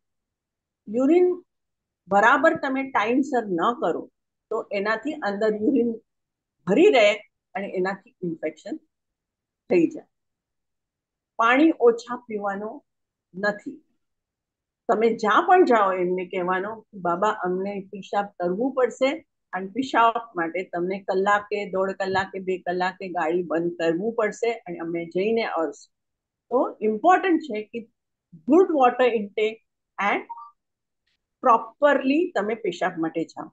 અને વજાઇનલ ડ્રાયનેસ મને હવે ઉંમર થઈ જાય તો વજાઇનલ ડ્રાય થાય. યુઝ્યુઅલી આ જો વજાઇનલ ડ્રાયનેસ છે, એ અરાઉન્ડ સિક્સટી ફાઈવ સેવન્ટીને આસપાસ પછી ચાલુ થઈ જાય. અને એના માટે પછી કોક વાર બહુ રેરલી ડ્રાયનેસ ઓછા કરવા માટે ઇસ્ટ્રોજનના ક્રીમ આપવું પડે. હવે હું આજે તમને કહું છું ઇસ્ટ્રોજનના ક્રીમ આપવું પડે કોક વાર, પણ પ્લીઝ હવે તમે જઈને ડોક્ટરને નહીં કહું કે મને પ્લીઝ ઇસ્ટ્રોજનના ક્રીમ આપો. કારણ એના પણ positive and negative side effects હોય છે ઇસ્ટ્રોજન ક્રીમ આપવા માટે. તો બી કેરફુલ અનલેસ ડૉક્ટર તમને કહે કે નહીં તમને જરૂરી છે, તમારે હેલ્થ માટે જરૂરી છે, તો જ તમે ઇસ્ટ્રોજનના ક્રીમ માટે what is the treatment urine ઇન્ફેક્શનનું એક તો પાણી વધારે પીવાનું. બીજું અલ્કલાઇનેઝિંગ યુરિન તમારું એસિડિક હોય, તો ઇન્ફેક્શન વધારે હોય. અલ્કલાઇન હોય, તો ઓછું હોય. એના માટે બાર્લી ખબર છે બધાને? તો barley water is very good તમે કોકોનટ વોટર લો, કોકોનટ વોટર પણ અલ્કલાઇન હોય છે, બાર્લી વોટર છે, એ બધું તમે વધારે પ્રમાણમાં લો તો યુરિન ઇન્ફેક્શન તમારું ઓછું થઈ જાય. બહુ વધારે ઇન્ફેક્શન હોય તો તમને દવા ખાવું પડે. જો કઈ દવા છે, ડૉક્ટરને પૂછ્યા વગર નહીં લે. કોઈ પણ યુરિન ઇન્ફેક્શનની દવા ખાવા પહેલાં યુરિન ચેકઅપ કરવાનો જરૂરી છે. એક પણ ગોળી તમે ખાઓ અને પછી ફરીથી યુરિન ચેક કરો, તો તમે એનામાં ઇન્ફેક્શન નહીં આવશે. અને એ બહુ જરૂરી છે યુરિનના ઇન્ફેક્શન છે કે નથી જોવા માટે, કારણ વજાઇનલ ઇન્ફેક્શન યુરિન ઇન્ફેક્શન બંને સિમિલર પ્રોબ્લેમ આપે છે. બર્નિંગ વજાઇનલ ઇન્ફેક્શનમાં પણ થાય યુરિન ઇન્ફેક્શનમાં થાય બળત બળતરા જો છે એ બંનેમાં થાય ઇચિંગ બંનેમાં થાય તો એના માટે જરૂરી છે જોવા માટે કે સાચું તમને યુરિન ઇન્ફેક્શન છે કે નથી છે? તો દવા તમે ખાલી એના પછી જ લેવાનો છે. હવે માસિકના પ્રોબ્લેમ્સ આપણને વાત ઓલરેડી કરી છે કે ઇરેગ્યુલર માસિક આવે હેવી બ્લીડિંગ થાય, માસિકને ટાઈમે પેન થાય અને પ્રી મેન્સ્ટ્રુઅલ સિન્ડ્રોમ જેને આપણે કહે છે કે માસિક પહેલા ચીડચીડા આવે. માસિક આવવાનું હોય એના પહેલા બહુ ચીડચીડા પણ આવે છે. એ યુઝ્યુઅલી તમને થર્ટી ફાઈવ ફોર્ટીની આસપાસ ઘણા લોકોને લાગે, છોકરાઓને, છોકરીઓને પણ થાય છે, પણ થર્ટી ફાઈવ ફોર્ટીને ઉંમરમાં પણ તમને વધારે પ્રમાણમાં એ પીએમએસ જોવાય. તો એના માટે જરૂરી છે કે તમે ડૉક્ટરને કન્સલ્ટ કરવાની. હું શું કામ કહું છું કે ઘણા વખતે હું જોઉં છું કે આજુબાજુ વાળા કે હવે બસ તારું માસિક જવાનું છે ને, એના માટે તારે આ પ્રોબ્લેમ આવશે જ. એ કહે છે એ કંઈ ખોટું નથી. માસિક જવાના ટાઈમે ઘણા બધા પ્રોબ્લેમ્સ આવે છે. પણ એને સાથે સાથે અંદરના પ્રોબ્લેમ્સ જો હોય છે પોલિપ છે ફાઇબ્રોઇડ છે ઓવરીના સિસ્ટ છે કેન્સર છે, એ તમને બહારથી ખ્યાલ નહીં આવશે. એ જ્યાર સુધી તમે ચેક ના કરો પ્રોપરલી ત્યાર સુધી તમને ખ્યાલ નહીં આવે. એના માટે ચાળીસની આસપાસ તમને મેન્સ્ટ્રુઅલ પ્રોબ્લેમ્સ થતા હોય, તો એક વખત જઈને ડૉક્ટરને સલાહ લેજો. ડૉક્ટર કહે કે નહીં, કંઈ તમને ગભરવાની જરૂર નથી, એ ઓકે છે. તો પછી કંઈ પ્રોબ્લેમ નથી. પણ જરૂરી છે કે તમે ડૉક્ટરની સલાહ તો એના માટે જરૂરી છે કે ડોન્ટ નિગ્લેક્ટ માસિકનો પ્રોબ્લેમ આવે છે બ્લીડિંગ થાય છે, તો જઈને ડૉક્ટર પાસે જઈને ગયના ચેકઅપ કરાવજો. એક સોનોગ્રાફી કરાવજો અને બહુ જરૂરી હોય ડોક્ટર જ તમને કહેશે તો થયેલી સફા કરીને અંદરનો પ્રોબ્લેમ છે એ વધારે ખ્યાલ આવે, એનામાં બ્લીડિંગ છે કેન્સર છે કે બીજું કઈ પ્રોબ્લેમ છે, ખ્યાલ આવે. તો આ થયું માસિકનો પ્રોબ્લેમ ફાઇબ્રોઇડ્સ ચિત્ર તમને બતાવું છું કારણ ફાઇબ્રોઇડ આ યુટ્રસની ગાંઠ છે. અને આ કોઈ પણ જગ્યા થઈ શકે. કોક વાર આ ફાઇબ્રોઇડની ગાંઠ યુટ્રસમાંથી બહાર પણ આવે છે, જેને આપણે પોલિપ કહે છે. તો એવી રીતે આ ફાઇબ્રોઇડ્સની ગાંઠે હોય છે. નોર્મલ હોય છે. યાદ રાખવાનું કે ફાઇબ્રોઇડ ક્યારે પણ કેન્સર ના ફાઇબ્રોઇડની ગાંઠ કેન્સરમાં ટર્ન થવાની શક્યતા બહુ બહુ બહુ બહુ બહુ મને બહુ જ ઓછી હોય છે. તો ફાઇબ્રોઇડને માટે શું ટ્રીટમેન્ટ હોય? એક કોઈ પણ ટ્રીટમેન્ટ નહીં નાના નાના ફાઇબ્રોઇડ હે, એ તમને કંઈ તકલીફ આપતા ના હોય, એ ઇન્સિડેન્ટલ ફાઇન્ડિંગ હોય છે કે ચલો તમે સોનોગ્રાફી કરાવી રૂટીનમાં, એનામાં ખ્યાલ આવ્યું કે ફાઇબ્રોઇડ છે છે, કંઈ વાંધો નથી. મેનોપોઝ આવ્યા પછી એ ફાઇબ્રોઇડની ગાંઠી કોકવાર નાની નાની થતી જાય અને એનાથી કાંઈ પ્રોબ્લેમ ના આવે, પણ એને ઓબ્ઝર્વ કરવું જરૂરી છે. કે તમને ફાઇબ્રોઇડની ગાંઠી હોય તો એ વધે છે કે, એનાથી શું મારે યાદ છે, અમારી પાસે એક પેશન્ટ આવેલું બહાર ગામથી આવેલું, કે કે મારે બસ હવે આઠ મહિનાની પ્રેગ્નન્સી છે, હવે બસ મારે ડિલિવરી કરવાની છે. આઠ મહિનાથી માસિક પણ નથી આવ્યું, પેટ એટલું મોટું થઈ ગયું છે. ચેક કર્યા પછી અમને લાગ્યું કે ના, બાળકના ધક્કા છે, એના કાંઈ છે, અંદર ખાલી કંઈ તો લાગે છે છે કરી સોનોગ્રાફી કર્યું તો એટલું મોટું ટર્બુજ ફાઇબ્રોઇડ હતું ફાઇબ્રોઇડ મોટા થતા જાય તો એના પ્રેશર આવે અને પ્રેશરને હિસાબે તમને ઘણી બધી તકલીફો થાય. તો ફાઇબ્રોઇડ કેન ગ્રો તો એક મોટું થાય છે કે નહીં એ ઓબ્ઝર્વ કરવું જરૂરી છે. ફાઇબ્રોઇડની ટ્રીટમેન્ટમાં સેકન્ડ આજકાલ દવા પણ આવી છે, જેનાથી ફાઇબ્રોઇડ નાના કરી શકે. તમને કઈ તકલીફ ના હોય તો તમને ફાઇબ્રોઇડ નાના કરવાની, દવા લેવાની જરૂર નથી, કાંઈ કરવાની જરૂર નથી, ખાલી ઓબ્ઝર્વ કરવાનું અને પ્રોપર ટ્રીટમેન્ટ જો એકચ્યુઅલી ફાઇબ્રોઇડનું ટ્રીટમેન્ટ છે, એ સર્જરી હોય છે. સર્જરી તમે દૂરબીનથી કરી શકો. તમે એનાથી ઓપન સર્જરી સિઝેરિયન જેવું કાપીને કરી શકો. બંને રીતે તમે ફાઇબ્રોઇડની સર્જરી ચાળીસની ઉંમર પછી તમને ફાઇબ્રોઇડ બહુ વધારે હોય, તમને બાળકની જરૂરત ના હોય, તો ટ્રીટમેન્ટ હોય છે કે તમે કોથળી કાઢી નાખો. કારણ કે આજે તમે ચાર ફાઇબ્રોઇડ કાઢો, એક ફાઇબ્રોઇડ કાઢો, થોડા વર્ષ પછી હજુ ફાઇબ્રોઇડ આવવાના છે. એ ફાઇબ્રોઇડની ટેન્ડન્સી હોય છે અને એ લોકોને વારંઘડી ફાઇબ્રોઇડ આવી શકે. તો ફાઇબ્રોઇડ માટે જ્યારે સર્જરી કરો છો આઈધર ફાઇબ્રોઇડ કાઢી શકો, નહીં તો પૂરો કોથળી કાઢી શકો. ઓપ્શનલ હોય છે, જરૂરી નથી કે હર ટાઈમે યુટ્રસ કાઢવું જરૂરી છે. પ્રોલેપ્સ શરીર બહાર જો આવે છે. એના આપણને થોડી વાત કરેલી કે યુટ્રસનો જો હોલ્ડ કરીને રાખે, જો મસલ્સ હોલ્ડ કરીને રાખે, એ લૂઝ થઈ જાય. ડિલિવરીમાં બહુ વધારે જોર કરવું પડે. ડિલિવરીને ટાઈમે બાળક બહાર આવતા બહુ ટાઈમ લાગે. ત્યારે તમે એટલું બધું જોર કરેલું હોય કે તમારું સ્નાયુ વીક થાય. એક રબર બેન્ડ તમે જો, એને તમે ખેંચો, પછી એ નોર્મલ સાઇઝમાં આવે. થોડું વધારે ખેંચો, પછી ન. પણ એક ટાઈમ આવે કે તમે ખેંચ્યા પછી એ નોર્મલ સાઇઝમાં ન જાય. એવી રીતે મસલ્સ એક વખત લૂઝ થઈ જાય, એને ટાઈટ કરવાનું બહુ મુશ્કેલ હોય અને તમારું શરીર બહાર આવતું હોય. એને અમે પ્રોલેપ્સ કહે છે. અને જ્યારે શરીર બહાર આવે ત્યારે તમને પેશાબ કરવામાં તકલીફ થઈ શકે, સંડાસ કરવામાં તકલીફ થઈ શકે, પેશાબ હોલ્ડ કરીને રાખવામાં પણ તકલીફ થઈ શકે. એની ટ્રીટમેન્ટ શું છે? એક તો પહેલે ડિલિવરીને ટાઈમે ટાંકા લે છે. થોડું કાપે છે. બાળકની ઇઝી ડિલિવરી થવું જોઈએ એના માટે. બાળકની ઇઝી ડિલિવરી થઈ જાય, બાળકનો સર બહાર પ્રોપરલી આવે, એના માટે અંદર થોડું કાપીને ટાંકા લે છે, જેનાથી તમને આગળ ચાલીને પ્રોલેપ્સની શક્યતા પણ ઓછી થઈ જાય. બીજું છે કે હર સ્ત્રીને પ્રેગ્નન્સી પછી મને ડિલિવરી પછી એક્સરસાઇઝ કરવું જોઈએ અંદરનું પેલ્વિક ઓર્ગન એને કીગલ્સ એક્સરસાઇઝ કહે છે. You can go on the net and search for Kegel exercise પેશાબ પૂરી ખાલી કરી નાખવાનો. અને એના પછી જેવી રીતે તમને કોઈ ટાઈમ ના હોય પેશાબ કરવા માટે, તો તમે અંદરના ઓર્ગન જેવી રીતે કોન્ટ્રાક્ટ કરી લો છો, એવી રીતે કોન્ટ્રાક્ટ કરીને રાખવાનો, પછી છોડવાનો. કોન્ટ્રાક્ટ કરવાનો, પછી છોડવાનો.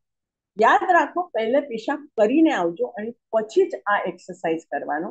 એવી રીતે તમે બેસીને, ઊભો રહીને ક્યારે તમે તવામાં રોટલી બનાવશો, યાદ આવે, ચાલો. બસ કોન્ટ્રાક્ટ કરવાનો છે છોડવાનો છે. દિવસમાં પચાસ, સો વખત તમે કરો. હર ડિલિવરી પછી જરૂરી છે, પણ ડિલિવરી પછી ન કરેલા હોય તો હમણાં પણ તમે કરો તો એનાથી તમને બહુ ફાયદો થશે. પ્રોલેપ્સ માટે પણ અને પેશાબનો જો ઇનકોન્ટિનન્સ આપણને કહે છે કે છીક આવ્યા પછી, ખાંસી આવ્યા પછી કોઈ કોઈ લોકોને તે એટલો પ્રોબ્લેમ હોય કે સુતા સુતા એ એક જગ્યાથી બીજી જગ્યામાં ટર્ન થાય તો પણ એમનો પેશાબ બહાર આવે. એના માટે એક ઓપરેશનનું પણ આપણને ટ્રીટમેન્ટ છે. પહેલાં તો શરીર જો બહાર આવે છે એ કાઢી નાખવું પડે અને અંદરના મસલ્સ ટાઈટ કરવાના ઓપરેશન કરવું પડે. બીજું છે કે આજકાલ એક સ્લિંગ કરીને આવે છે. મને એક ટેપ હોય છે. જો તમે પેશાબની જગ્યાથી નીચેથી નાખો, તો તમારું જો મસલનું કામ છે એ ટેપ કરે છે. અને પેશાબનું તકલીફ ઓછું થાય. કેટલા બધા ઓલ્ડ લોક હોય છે, જો ઘરેથી બહાર જવાનું બંધ કરી નાખે, પ્રવાસ કરવાનું બંધ કરી નાખે. કારણ એમને શરમ આવે કે હું બહાર જાઉં તો મારું પેશાબ બહાર આવી જાય તો હું કેવી રીતે કરું? મને છીક આવે, હાંસી આવે તો પણ મારું પેશાબ બહાર આવે છે. તો એ લોકો માટે બહુ જરૂરી છે સમજવાનું કે એના માટે ટ્રીટમેન્ટ છે. એના માટે સ્પેશિયલ ઓપરેશન છે અને ઓપરેશન પણ ના હોય. બહુ સિમ્પલ ઓપરેશન છે. એ તમે કરી શકો અને એનાથી તમને ફાયદો થશે. જો બેનરને કઈ તકલીફ નથી એ અને જેને તકલીફ છે એ પણ. તમે પ્લીઝ એક્સરસાઇઝ હમણાંથી ચાલુ કરો. જો હિસાબે તમારે મસલ્સમાં સ્ટ્રેન્થ પાછા આવી જશે. મસલ એક ઓર્ગન છે. એક જ એવું ઓર્ગન છે, જેને જેટલું તમે યુઝ કરો ને, એટલું એ સ્ટ્રોંગ થતું છે તો હર મસલનો ઉપયોગ થવો જ જોઈએ. ઓવરીમાં સિસ્ટ હોય છે, મને પાણીની ગાંઠ હોઈ શકે કોક વાર લોહીની ગાંઠ હોઈ શકે. એન્ડોમેટ્રિયોસિસ જેને કહે છે કે તમારું માસિકનું જો બ્લીડિંગ છે, એવી રીતે જ બ્લીડિંગ ઓવરીમાં ચાલુ થાય. એક ડર્મોઇડ કરીને બીજી જાતની ગાંઠ હોય તો પણ કેન્સરની ગાંઠ તો હવે શું છે, શું નથી એ તમે એક વખત ડૉક્ટરને પાસે જાઓ તો જ તમને ખ્યાલ આવશે. પણ એનું સિમ્ટમ્સ નોર્મલી કંઈ ન હોય. કે તમને ઓવરીમાં ગાંઠ છે તો તમને ખ્યાલ નહીં આવશે, જ્યાં સુધી તમે સોનોગ્રાફી નહીં કરો આ ડૉક્ટર પાસે ચેકઅપ માટે નહીં જાઓ. પણ તમને પ્રોબ્લેમ થશે માસિકમાં. માસિક બરાબર નહીં આવે, બિલકુલ જ નહીં આવે. કોક વાર આવે તો દોઢ દોઢ બે બે મહિના આવે હેવી બ્લીડિંગ ચાલુ થઈ જાય. પેટમાં બહુ વધારે પ્રમાણમાં દુખવાનું થઈ જાય. તો એવી રીતે કોઈ ના કોઈ પ્રોબ્લેમ માસિકમાં આવે, પણ એકચ્યુઅલ પ્રોબ્લેમ યુટ્રસમાં ના હોય ઓવરીમાં તો જરૂરી છે કે તમે ક્યારે પણ માસિકનો પ્રોબ્લેમ આવે તો ચેકઅપ કરવાનો જરૂરી છે. એની ટ્રીટમેન્ટ ઓવરીના ગાંઠ હોય, તો પહેલે તો સોનોગ્રાફી કરીને કન્ફર્મ કરવું પડે. પછી એનામાં કેન્સર છે કે નથી જોવા માટે સીએ વન ટ્વેન્ટી ફાઈવ કરીને બ્લડ ટેસ્ટ આવે છે. એ કરવાનું જરૂરી હોય છે. યાદ રાખો કે ઓવરીમાં નાની નાની ગાંઠ ત્રણ સેન્ટીમીટરથી ઓછી હોય તો યુઝ્યુઅલી એનામાં કેન્સરની શક્યતા બિલકુલ ના અને એના પછી કોઈક વાર એમ પણ ડાયગ્નોઝ ન થાય તો દૂરબીન અંદર નાખીને જોઈને ડાયગ્નોઝ કરવું પડે કે ઓવરીમાં ગાંઠ છે. ટ્રીટમેન્ટ મેડિકલ ટ્રીટમેન્ટ પણ થઈ શકે. જો સિમ્પલ ગાંઠો હોય છે, જેનામાં કઈ કેન્સરની શક્યતા ના હોય, એને તમે હોર્મોન્સની ટ્રીટમેન્ટ આપીને પણ ઓછા કરી શકો. નહીં તો તમને ઓપરેશન કરીને ગાંઠ કાઢી નાખવી પડે છે લેપ્રોસ્કોપીથી યા ઓપન સર્જરીથી બંને ઓપ્શન્સ હોય છે. કેન્સર મને ખબર પડી કોકિલાબેનથી કે કેન્સરમાં તમારું ઓલરેડી લેક્ચર થઈ ગયું છે, તો એનામાં હું વધારે કંઈ કહેતી નથી. પણ બ્રેસ્ટનું કેન્સર બની શકે, સ્ત્રીઓમાં સર્વિક્સનું કેન્સર બની શકે. અંદરનું લાઇનિંગ યુટ્રસને અંદરનું જો લાઇનિંગ છે એન્ડોમેટ્રિયમ જેને કહે છે, એનું કેન્સર થઈ શકે અને ઓવરીઝના કેન્સર થઈ શકે. સો નાવ ઇમ્પોર્ટન્ટ પાર્ટ છે કે અમે એક મેનોપોઝ ઉપર થોડું ધ્યાન રાખવાનું. વધારે કહું કંઈ કહું છું મેનોપોઝ ઉપર. એક તો તમે કેટલું પણ કહો મેનોપોઝ તમે અવોઇડ નહીં કરી શકો. મેનોપોઝ તમને આવવાનો જ છે. It is a fact of life but it is also a time when your life is changing so much કે તમે તમારા લાઈફમાં એક નવા ચેપ્ટર ચાલુ માસિક બંધ થયાથી ઘણા બધા તમને ફાયદો પણ છે. એ હું લાસ્ટમાં કહીશ તો મેનોપોઝ જે છે, એ ત્રણ ભાગ છે મેનોપોઝ એક મેનોપોઝ આવવાને પહેલીની વાત, જેને અમે પેરીમેનોપોઝ કહે છે. પેરીમેનોપોઝ મને હજુ તમને માસિક આવે છે. તમારે માસિક બંધ થઈ નથી. પણ હોર્મોન્સ ઓછા થઈ ગયા, એના માટે તમને તકલીફ મેનોપોઝ જેવું ચાલુ થઈ ગયું છે. તો શું આવે છે? એક તો માસિકની તકલીફ ચાલુ થઈ જાય છે. કારણ હોર્મોન્સ ઓછા થતા જાય છે તો પીરિયડ ઇરેગ્યુલર થાય. મેનોપોઝમાં માસિક લેટ આવે છે, ઓછી આવે છે. માસિક વધારે આવતી હોય, જલ્દી જલ્દી આવતું હોય, તો નાઇન્ટી નાઇન પર્સન્ટ એ મેનોપોઝ ના it is some other problem પણ માસિક લેટ આવે છે અને ઓછી થાય છે, એના મતલબ છે એ મેનોપોઝનો હોઈ શકે. હોટ ફ્લેશિસ હોટ ફ્લેશિસને બારેમાં ઘણા લોકોને થી તમને સાંભળ્યું હોય કે ગરમ લાગે. એસી ચાલુ છે, ઘરમાં બધું કોલ્ડ છે, તમે એકદમ હોટ શું કે છે બરફને શરીરમાં લગાવવાની ઈચ્છા થાય છે. એવી રીતે તમારું શરીર ગરમ ગરમ હોય છે. એકચ્યુઅલ ફેક્ટમાં તમે જો તો ગરમ ના હોય. તમે માપીને દો તો તમારું ટેમ્પરેચર નોર્મલ હોય. જેને આપણે હોટ કે તો જસ્ટ ફોર અ જો આઈ એમ સ્ટીલ હોટ હોટનો મતલબ છે હું બહુ હોટનો મતલબ છે I am still looking very good and attractive so I am still hot it just comes in flashes અને થોડી થોડી ટાઈમમાં આવે છે. તો દેટ્સ જસ્ટ ફોર અ જો નાઇટ સ્વેટ મને રાત્રે તમને પસીનો છૂટે છે. એસી ચાલુ છે, ફેન ફૂલ ચાલુ છે, તો પણ તમને પેસીનો આવે. એક બહુ ઇન્ટરેસ્ટિંગ કેસ હું તમને કહું છું. કારણ અમે આજે ગાયનેકોલોજીસ્ટ અમે નાઇટ સ્વેટ યાને વધારે પસીનો આવે મેનોપોઝ છે મેનોપોઝની ટ્રીટમેન્ટ કરવાનું, એ અમારા રૂટીન હોય છે. તો મારી પાસે એક પેશન્ટ આવેલી. એનો છોકરો એને સાથે લઈ આવેલો અને એને કીધું કે મારે માને બહુ તકલીફ છે. My mother suffering from severe sweating એટલું એને સ્વેટિંગ થાય કે એને ગાઉન ને ગાઉન બદલી કરવું દિવસમાં બે, ત્રણ વખત. જનરલ પ્રેક્ટિશનરને મારી પાસે મોકલ્યું કે એને મેનોપોઝની તકલીફ થાય. હું એમને સાથે ઘણી બધી વાત કરી. મને પણ લાગ્યું કે કદાચ મેનોપોઝ હશે. પણ I don't believe in giving hormone treatment તો હું એમને બીજા કઈ દવા આપી. પછી ઘરવાળા સાથે વાત કરી. એને બહુ ઇરિટેટેડ છે. બહુ ઝઘડા કરે છે, બહુ એન્શિયસ છે. તો કીધું કે તમને સાયકેટ્રિક ઓપિનિયન લેવું પડે. તો સાયકેટ્રિસ્ટ પાસે જઈએ સાયકેટ્રિસ્ટને એમ કંઈ દવા આપી. એને કંઈ ફરક નહીં પડ્યો. પછી અલ્ટિમેટલી હું એને હોર્મોનની ટ્રીટમેન્ટ પણ ચાલુ કરવાની હતી. કે ચાલો આજે હવે તો ચાલુ મારા દિમાગમાં એક શક્યતા આવી હતી. હજુ એક ડિઝીઝ હોય છે જેનામાં બહુ વધારે સ્વેટિંગ થાય છે. જેને અમે એના અલગ નામ છે. તો આ ડિઝીઝમાં પણ થાય છે. સો આઈ સેન્ટ હર ટુ અ એન્ડોક્રાઇનોલોજીસ્ટ અને એમને કીધું કે એને મેનોપોઝની તકલીફ નથી. એને બીજા એક કોર્ટિઝોલ કરીને હોર્મોન હોય છે અમારા શરીરમાં. એનું પ્રોબ્લેમ થઈ ગયું છે અને એને અને પછી એની ટ્રીટમેન્ટ કરવાથી એને ફાયદો થાય. તો night sweat of course is a part and parcel of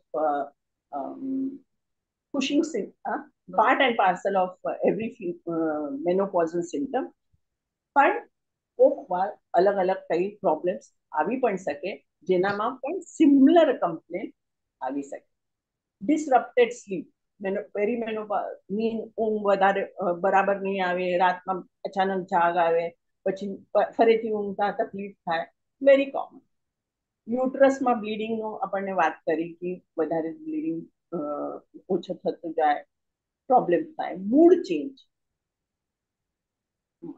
આ વર્ષ બે, ત્રણ, ચાર વર્ષ જો પેરી મનોપોઝ હોય, ચાર વર્ષ કોક વાર છ વર્ષ કોક વાર આઠ વર્ષ સુધી સુધા, પણ તમને પેરીમેનોપોઝ હોય જ શકે. ત્યારે તમે બહુ ચીડચીડા થઈ જાય ઇરિટેટ થઈ જાય, બહુ જલ્દી રોવાનું ચાલુ કરો. તમે પિક્ચર પણ જોતા હોય તો તમે વધારે રોવો છો. ઘરમાં થોડું પણ કંઈ થાય તો તમને ડિપ્રેશન આવે, તમે રોવાનું ચાલુ કરો, તો mood changes are very common મેનોપોઝને ચેન્જીસમાં અને બ્રેન ફોગ એને તમને યાદ જ નહીં આવે શું કર્યું છે. પુરાનું બધું યાદ આવે, પણ હમણાં કરેલું તમને યાદ નહીં આવે. એના મતલબ એવું નથી કે તમને અલ્ઝાઇમર થયું છે. અલ્ઝાઇમર એક ડિઝીઝ છે, જેનામાં તમારી યાદદાસ્ત જતી છે પણ એનામાં શોર્ટ ટર્મ મેમરી તમને યાદ જ નહીં આવે કે તમને હમણાં બહાર જઈને કંઈ તો રખી રાખીને આવ્યા છો અને તમને યાદ જ નહીં આવે કે ક્યાં રાખ્યું છે, ક્યાં રાખ્યું છે. It is a short term અને એ તમારું મેનોપોઝનું પ્રોબ્લેમ પતી જાય એના પછી you again come back to normal focus કરવાની શક્યતા શક્તિ ઓછી થઈ જાય. You cannot concentrate and do long term કંઈ કામ કરવાનું હોય, એક જગ્યા બેસીને એક પૂરો કંઈ કામ કરવાનું હોય તો એ તમને કરવાનો કંટાળો આવે છે. અને વજાઇનલ ડ્રાયનેસ જેના માટે અમે ઘણી બધી વાત કરી છે અત્યાર સુધી, એ પણ પેરીમોનોપોઝમાં થાય છે. તો અમે જાને, જેને keep on saying menopause menopause મને મેનોપોઝની પ્રોબ્લેમ છે મેનોપોઝની એ મેનોપોઝ નથી, એ પેરીમેનોપોઝ છે, અને મેનોપોઝ આવવાની. મેનોપોઝ જો છે, એને બાર મહિના twelve months or one year, if you don't get menses, then only we say you are having menopause. બે મહિનામાં માસિક આવતું હોય, ત્રણ મહિનામાં આવતું હોય, તો તમે તેને મેનોપોઝ નહીં કહી શકો. એને તમને પેરીમેનોપોઝ કહેવું પડશે. એક વખત તમને એક વર્ષ સુધી માસિક ન આવ્યું હોય, પછી જ તમે એને મેનોપોઝ એને કહેવું છે normally fifty one fifty five સુધી મેનોપોઝ આવવું જ જોઈએ. પણ કોઈક વાર અરી મેનોપોઝ તમે ચાળીસ ફોર્ટી ફાઈવની ઉંમરમાં પણ જોઈ શકો. અને ત્રણ ચાર વર્ષ સુધી મેનોપોઝ હોય છે. એના પછી the next stage is post menopause અને મેનોપોઝ ત્રણ ચાર વર્ષ સુધી હોય છે. મને માસિક નથી આવ્યું, તો એને મેનોપોઝ કહે છે. અને એના પછીનો જે દિવસ છે, એને અમે એઝ અ સાયન્ટિફિક એને પોસ્ટ મેનોપોઝ રીતે છે હોટ ફ્લશિસ જો છે, સત્તર ટકા લોકોને થાય છે. હમણે અત્યારે જો પેરીમેનોપોઝનો પ્રોબ્લેમ્સ જોયું, એ મેનોપોઝમાં પણ થાય છે. અને સ્વેટિંગનો પ્રોબ્લેમ પણ મેનોપોઝમાં થાય છે. બરાબર? તો મેનોપોઝમાં કન્ટિન્યુ સિમ્ટમ્સ રહી શકે. હેલ્થ પ્રોબ્લેમ શું આવી શકે? મેનોપોઝમાં એક તો ઓસ્ટિયોપોરોસિસ અને તમારા બોન્સ જો છે એ ખાલી થઈ જાય. એનામાં જો સ્ટ્રેન્થ હોવું જોઈએ એ નથી રહેતી. અને હાર્ટ ડિઝીઝ, અત્યાર સુધી તમને પ્રોટેક્શન હતું. અને હવે જોઈએ છે કે આફ્ટર યુ બીકમ મેનોપોઝ, જે લોકોને મેનોપોઝ આવી ગયું છે, એ લોકોમાં બાકી લોકો કરતાં ત્રણથી ચાર ટકા વધારે હાર્ટ એટેકનો પ્રોબ્લેમ આવે છે. After menopause you have to be very careful કે હાર્ટ એટેકની શક્યતા વધતી જાય છે હર સ્ત્રીને હર વર્ષે વર્ષમાં એક વખત અત્યારે જો આપ્યું છે એટલા રિપોર્ટ્સ કરવાના જરૂરી છે। એક તો નોર્મલ હિમોગ્લોબિન અને સીબીસી તમારું શુગર કારણ હવે જ્યારે તમારું ફોર્ટીનું ઉપર થાય, ત્યારે તમારું શુગર ડાયાબિટીસ જો છે એ આવવાની શક્યતા વધી જાય કોલેસ્ટ્રોલ વધતું જાય વિટામિન ડી ઓછું થવાનું શક્યતા વધી જાય કેલ્શિયમ ઓછું થઈ જાય બી ટ્વેલ્વ ઓછું થાય થાઇરોઇડનો પ્રોબ્લેમ્સ ઘણા લોકોને ચાલુ થાય, અને CA one five four ovarian કેન્સરના એક બ્લડ ટેસ્ટ છે. તો એટલા રિપોર્ટ્સ તમને કરવાનું જરૂરી છે. બીજું છે કે પોતાનું breast every time self examination કરવું જોઈએ મહિનામાં એક વખત એટલીસ્ટ પોતાનું બ્રેસ્ટ ચેક કરવું જરૂરી છે અને વર્ષમાં એક વખત સોનો મેમોગ્રાફી કરવાનું જરૂરી છે. બીજી, પેટ અને પેલ્વિક સોનોગ્રાફી હર વર્ષે તમને કરવું જોઈએ. જો અમે ઘણા બધા લોકો છે જો હર વર્ષે બ્લડ ટેસ્ટ કરે છે, પણ તમે સોનોગ્રાફી નથી કરતા. ઘણા બધા કેન્સર એવું છે કે જેની શરૂઆતમાં તમને ખ્યાલ આવે તો એની ફૂલ ટોટલ ટ્રીટમેન્ટ થઈ શકે. તમને બહુ ટ્રીટમેન્ટ તો કમ્પ્લીટ કરવું પડે. જો છે કિમોથેરેપી છે રેડિયેશન છે કરવું પડે, પણ તમે એનામાંથી સો ટકા બહાર આવી શકો. તો જરૂરી છે કે તમે પેટ અને પેલ્વિક સોનોગ્રાફી વર્ષમાં એક વખત મિનિમમ કરજો અને પેપ્સમિયર સ્મિયર ટેસ્ટ જેને કહે છે, એ પણ વર્ષમાં એક વખત થવું જોઈએ. This is a tip for all the yearly checkup that everybody should do, every female should do. Breast examination માટે ખાલી આ ફોટો નાખ્યું છે. રીટાબેન તમે પછી સર્ક્યુલેટ કરજો કે કેવી રીતે પોતાનું બ્રેસ્ટ ચેક કરવાનું અને શું છે. I won't go in detail તમારું કેન્સરનું ઓલરેડી થઈ ગયું છે. પણ એક તમને જોવું હોય તો બધાને તમે એના માટે આ એક સ્લાઇડ રાખી છે. તો ઘણા બધા લોકો છે જો જલ્દી બુઢા તમે દસ સેમ ઉંમરનો લોગ લો. તો એનામાંથી કોઈ છે જો બહુ ઓલ્ડ લાગે છે એન્ડ કોઈ છે હજુ પણ યંગ લાગે છે. તો વોટ આર ધ રીઝન્સ એના માટે કારણ શું હોય છે? અર્લી એજિંગનો એક તો સન એક્સપોઝર જો લોકો વધારે ધૂપમાં કામ કરે છે, જો કન્ટિન્યુ ધૂપમાં રહે છે, એ લોકો, તમે ખેત ઉપર જશો તો ખેતમાં કામ કરવા વાળી વ્યક્તિને તમે જો અને તમને પોતાને જો. ઓલમોસ્ટ તમારી સિમિલર ઉંમર હોય છે, પણ એમનું ચમડી જોઈને તમને એવું લાગશે કે એ કેટલી ઉંમર વાળી છે. પણ એકચ્યુઅલી એ તમારા જ ઉંમરની છે, પણ કારણ કે એને સન એક્સપોઝર છે she is looking old no physical activity I am very sad to say પણ આપણને ઇન્ડિયન કમ્યુનિટીમાં બહુ આવે તો સાસને આરામ કરવાની છે.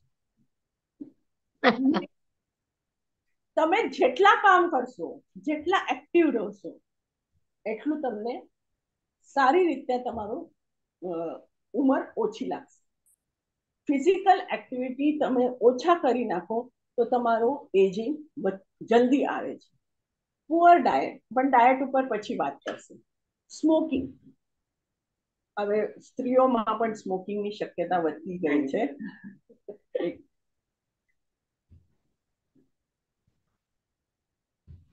તમે આજે મોલ ને મને બાકીની જગ્યાની ખબર નથી.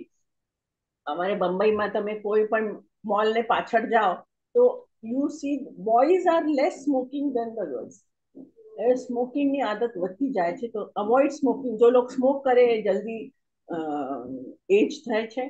આલ્કોહોલ કન્ઝમ્પશન જેનો વધારે હોય છે, એ લોકો જલ્દી એજ થાય છે. અને જેને બહુ સ્ટ્રેસ હોય લાઈફમાં બહુ વધારે સ્ટ્રેસ હોય એ લોકોમાં પણ changes of aging are seen early તો can we reverse it of course we can કારણ એ આપણને હાથમાં છે. એક તો આલ્કોહોલ તમે લેતા હોય. બહુ it is a fashion alcohol લેવાની એક ફેશન થઈ ગઈ છે. પાર્ટી મને આલ્કોહોલ ઇટ ઇઝ મને એનો મતલબ જ એવું છે. પાર્ટી કરવાનું છે તો આલ્કોહોલ લેવાનું છે. તો પ્લીઝ આલ્કોહોલ લેવાનું હોય તો પણ at least it should be very minimum at least સાતથી આઠ કલાકની નીંદ તમને લેવું છે સ્પેસિફિકલી હવે આફ્ટર ફોર્ટી મને મેનોપોઝ ને એ ઉંમરની ઘણી બધી લેડીઝ છે અહીંયા. તો કઈ કામ ના હોય, શું કરવાનું છે? તો ટીવી જોવાનું છે. ઓટીટી પ્લેટફોર્મ એવું છે કે તમે એને ના છોડી શકો ના કરી શકો અને એનામાં રાત્રે અગિયાર થઈ જાય બાર થઈ જાય કોઈને ખબર ના પડે. પાર્ટીઝ હોય છે તો પાર્ટીમાંથી પાછા આવતો આવે બાર વાગ્યા કોઈ પાછા નહીં આવે. તો at least seven to eight hours of sleep daily લેવું જરૂરી છે. એક્સરસાઇઝ રેગ્યુલરલી કરવું જરૂરી છે. ફેટ ઇન્ટેક જો છે એ તમે ચાળીસ પછી ઓછું કરવું જરૂરી છે. અને અમે જો જમે છે, ખાય છે, તમે કેટલું બધું વિચાર કરીને કરીને કરીને ખાવ કે એ સારું છે મારે સારું છે મારે. પણ એનામાં હવે જો વિટામિન્સ મળવું જોઈએ એ નથી મળતા. તો vitamin supplement after certain age એ પણ જરૂરી. ઘણી વખત એને એબ્ઝોર્બ કરવાની શક્યતા પણ તમારી ગટમાંથી ઓછું થઈ જાય. એના માટે જરૂરી છે કે થોડું ઘણું કેલ્શિયમ છે, મલ્ટીવિટામિન છે એ તમને રેગ્યુલરલી લેવું જરૂરી છે. એ બધું તમે કરો, તો પણ હું નથી તમને ગેરંટી આપતી કે તમારી, તમે યંગ જ રહેશો. અલ્ટિમેટલી ક્યારે ને ક્યારે તમને ઓલ્ડ થવું પડશે, પણ aging gracefully is very important તમે જેટલું સત્તાને સાંભળીને આગળ જાઓ, તો ઓલ્ડ થાઓ, પણ તમારા ચામ એમ જ રહે. સો ડાયટ તો ડાયટમાં જરૂરી છે કે તમે એક તો તમારું પોર્શન સાઇઝ ઓછું કરી નાખો. મને તમે મોટી થાળીમાં જમવાનું બંધ કરી નાખો. નાની પ્લેટ લઈને જમવાનો તો તમને ખ્યાલ આવે કે હું કેટલું ખાઉં છું. અને નાના થાટલીમાં તમે એટલું નાખો તો એ મોટું લાગે. And you feel that I have eaten more મોટા થાટલીમાં એટલું જ નાખો તો તમે એટલું જ ખાધું છે તો હું મારું આજ પેટ નહીં ભર્યું તો start eating in smaller thing. Vegetables, vegetables of course how જરૂરી છે પણ હવે you because you are aging તમારું જો ઇન્ટેસ્ટાઇન છે એનું કામ નથી બરાબર થતું. તો એને કામ બરાબર કરવું જોઈએ એના માટે હાઈ ફાઈબર ડાયટ બહુ જરૂરી છે. જેટલું તમે હાઈ ફાઈબર ડાયટ લેશો એટલું સારું. Calcium and vitamin D vitamin D maximum સનમાંથી મળે છે. અને ninety percent of the people feel that morning સવારે સવારે ધૂપમાં બેસવું તો સારું. પણ તમને એકચ્યુઅલ વિટામિન ડી જોતું હોય તો બપોરનું જો તડકો હોય છે, એનામાં તમે વીસ પચીસ મિનિટ પણ ઊભો રહો તો ચાલશે. પણ બપોરને તડકામાં વધારે વિટામિન ડી મળે છે. તમે વેજીટેરિયન હશો, તો તમને બધી જાતનું ફ્રૂટ્સ ખાવું જોઈએ, બધી લીલી શાક ખાવું જોઈએ પાલક છે, મેથી છે કેટલી બધી શાક મળે છે આપણને લીલી શાક. બધી ખાવું જોઈએ, રોજે થોડી થોડી ક્વોન્ટિટીમાં ખાવું જોઈએ કઠોળ તમે હવે ખાવાની જરૂરી છે કારણ તમને પ્રોટીન્સ મળવું જોઈએ અને દૂધ ડેરી પ્રોડક્ટ્સમાં પણ તમે વધારે ધ્યાન રાખો તો સારું. થોડું દૂધ રોજે લેવું જોઈએ. દહીં, છાશ તમારે ગટ માટે બહુ સારું છે. તો રોજે જો લોકો દહીં ને છાશ લે છે, એમનું પણ જો ગટ્સમાં એક બેક્ટેરિયા હોય છે લેક્ટોબેસિલસ જેને કહે છે, એ તમારું ડાયજેશન માટે બહુ જરૂરી છે. અને તમને પ્રોટેક્શન પણ આપે કે બીજા કોઈ ઇન્ફેક્શન નહીં તો એ જો લેક્ટોબેસિલસ છે, સૌથી વધારે કર્ડ્સ દહીં અને છાશ એનામાં હોય છે તો have lot of dahi and chaas every day fats તો ઓછો કરવાનું વાત થઈ જ છે. જંક ફૂડ જો અમારું હવે પ્રાયોરિટી થઈ ગયું છે, એનામાંથી હવે તમે પોતાને બાજુ કરો. છોકરાઓને કરવા જોજો કરવાનું છે, પણ તમે પોતે થોડું બાજુ થઈ જાઓ. જંક ફૂડ બને એટલું નહીં ખાવાનું. જો ખાવાનું છે, ઘરે બનાવીને ખાઓ. એ વધારે સારું. I drink lot of water જેવું ઉંમર વધતી જાય ને, તમારી પ્યાસ લાગવાની જો હેબિટ છે, એ ઓછી થઈ જાય. તમને પ્યાસ નહીં જલ્દી લાગશે. અને પ્યાસ ઓછી લાગે, તમે પાણી ઓછું પો તો તમારું બ્લડ પ્રેશર ડાઉન થઈ જાય. જરૂરી છે કે તમે યાદ કરીને થોડી થોડી વારમાં પાણી લેવાનું. બેથી ત્રણ લીટર, બે લીટર મિનિમમ પાણી તમને રોજે લેવું જોઈએ. અને પેશાબ પણ એટલી વખત જ શરમ નહીં કરવાનો. દોઢ બે કલાકે તમને એક વખત જઈને પેશાબ કરીને જ આવવાનો. પણ જેટલું તમે એમટી કરો, એટલું અંદરનો બેક્ટેરિયા બહાર આવી જશે. તો that is about diet exercise minimum અડધો કલાક. એક્સરસાઇઝ જરૂરી છે. જરૂર નથી કે તમને જીમ જોઈન કરવું જોઈએ. તમારી પાસે બિલ્ડિંગમાં સ્ટેરકેસ હોય છે. તમારું સેકન્ડ ફ્લોર છે ફોર્થ ફ્લોર છે ઇલેવન્થ ફ્લોર છે. એટલીસ્ટ બેસ્ટ સ્ટેર્સ ચડીને જાઓ, પછી તમે લિફ્ટ લેજો. પણ થોડું સ્ટેર કેસ ચાઢવાનું તમને કરવું જોઈએ. ઉતરવાનું નહીં કરવાનું. કારણ તમને ઉતરતે વખતે તમારા જોઈન્ટ ઉપર બહુ પ્રેશર પડે છે. તો બને એટલું ચડવાનું ખાલી કરજો, ઉતરવાનું વધારે નહીં કરવાનું. થોડું થોડું કામ માટે તમે બહાર નીકળો તો ઘરને બહાર રિક્ષા નહીં કરવાની. થોડું ચાલીને આગળ જવાનું પછી જોતું હોય તો તમે રિક્ષા કરજો. ઘરનું કામ એક કલાક, દોઢ કલાક, હવે એ કેવું પડે છે. કારણ હવે અમને એટલી આદત છે કે ઘરમાં કોઈને કોઈ કામવાળી હોય છે. અમે પોતે ફિઝિકલ એક્ટિવિટી માટે ઘરનું કામ કરવાનું જરૂરી છે. ઝાડુ છે, પોતા છે. તમારે માટે બહુ સારું છે કારણ it is allowing you to exercise stretching બહુ જરૂરી છે. Yoga is a very good form of stretching exercise કઈ નહીં તો એક પાંચ દસ મિનિટ તમને જો સમજતા હોય એ સ્ટ્રેચિંગ તમે કરજો. પણ સ્ટ્રેચિંગ કરવાથી તમારો મસલ સ્ટ્રોંગ થઈ જાય. સ્ટ્રેચિંગ કરવાથી તમારા બોન્સનું જે લુબ્રિકેશન છે એ વધારે આવે છે.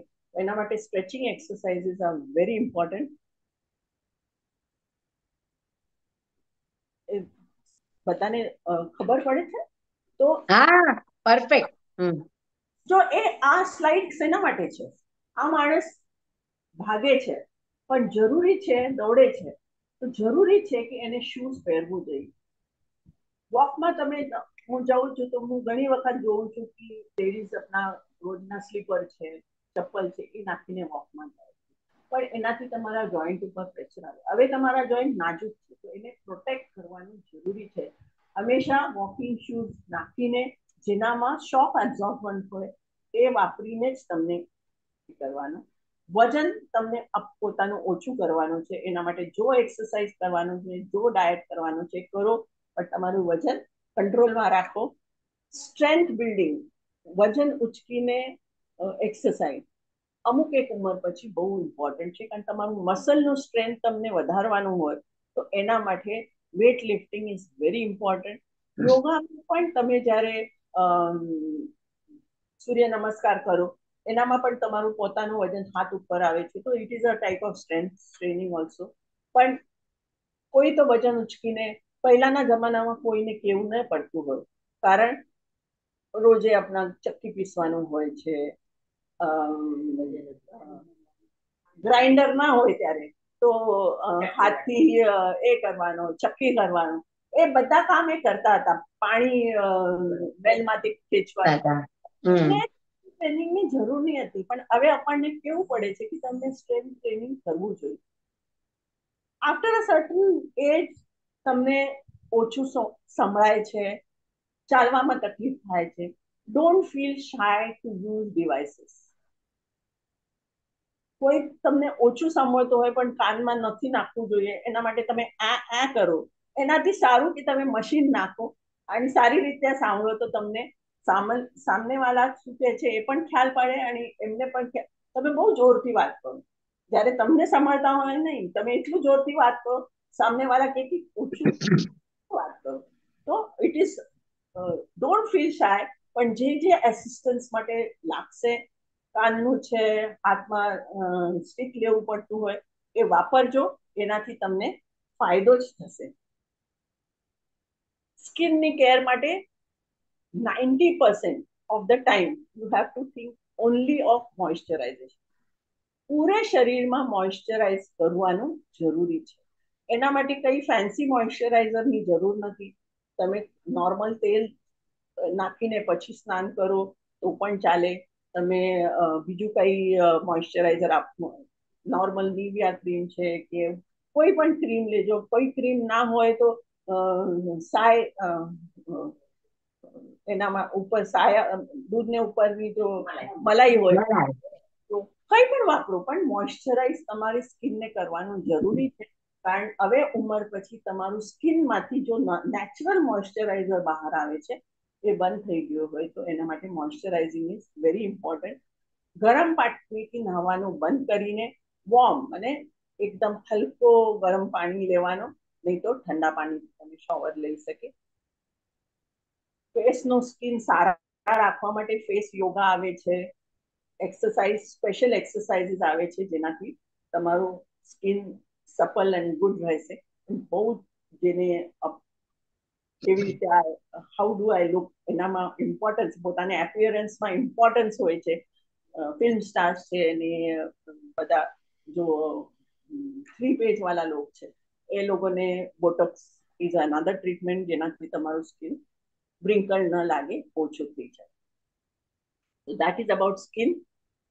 Mental health. This is most important after the age when you are in menopausal એક તો આઈ એમ હેપી કે તમારું આ સંસ્થા છે, જેનામાં હજાર લોક એકબીજાથી વાત કરે છે. સ્ત્રીયા છે, તમે પિકનિકમાં જાઓ મળો. અમારે અહીંયાનો ગોરેગાંવ મહિલા સમાજ છે, એના કઈ ના કઈ એક્ટિવિટીઝ હોય છે. એવી રીતે એક્ટિવિટીઝમાં તમે જોઈન થાવ fine companion fine good people with home you can have fun do crazy things જો અત્યાર સુધી તમને ના કર્યું હોય, કરવાની ઈચ્છા હોય, કરો. કોઈ હવે તમને ના, સારું કહેશે ના. સારું કહે તો પણ તમને ખરાબ નહીં લાગે બુરો કહે તો પણ ખરાબ નહીં લાગે. Go and do crazy things be happy તો એના માટે કમ્પેનિયન જરૂરી છે. કીપ લર્નિંગ ન્યૂ થિંગ્સ નો હવે ઘણા બધા લોકો એવું જ કે, બસ હવે ઉંમર થઈ ગઈ, હવે મારે શું કરવાનું છે? મારે ક્યાં જવાનું પણ તમે નવું નવું શીખો તો તમારા બ્રેનના સેલ્સ છે રિજ્યુનેટ થાય છે. નવું કંઈ તો કરો તો રેજ્યુનેટ થાય છે. તો એના માટે નવું નવું કંઈ તો શીખવાનું જરૂરી છે. જરૂર નથી કે તમને કંઈ ભણવાનું છે મ્યુઝિક છે ડાન્સ છે બીજા કઈ એક્ટિવિટીઝ હોય છે કમ્પ્યુટર જેને આવતું ન હોય કમ્પ્યુટર શીખો. You can learn so many things કંઈ ન કર્યું હોય બચપનથી એ તમને હવે લાગે કે હું બચપનમાં મને પેઇન્ટિંગ કરવાનું હતું હવે મને ત્યારે ટાઈમ ન મળ્યો. હવે કરો. અને એટીટ્યુડ તમારું એટીટ્યુડ તમને ચેન્જ કરવું જોઈએ પોતાની તરફ તમે બિલ્લી બનીને નહીં જોવાનું. પોતાને શેર જ સમજો. Because what you think about yourself you feel. yes 100% so you should always think that i am no less. આજે મારામાં તકલીફ આવી છે પણ તકલીફ આવી છે તો હું તો અંદર સેમ છું ને? હું થોડી બદલાઈ છું. હું કેવી રીતે છું? હું કેવું મને જોવામાં કેવું લાગે છે? એ વિચાર તમે કરશો તો તમને ઓલરેડી એજ થઈ ગયા છે. તમે પહેલે મનમાંથી કાઢી નાખો કે મારી ઉંમર થઈ ગઈ છે હવે મારાથી કંઈ થવાનો નથી મારે એ નથી મારા ફલાના નથી જમતા નથી નહીં.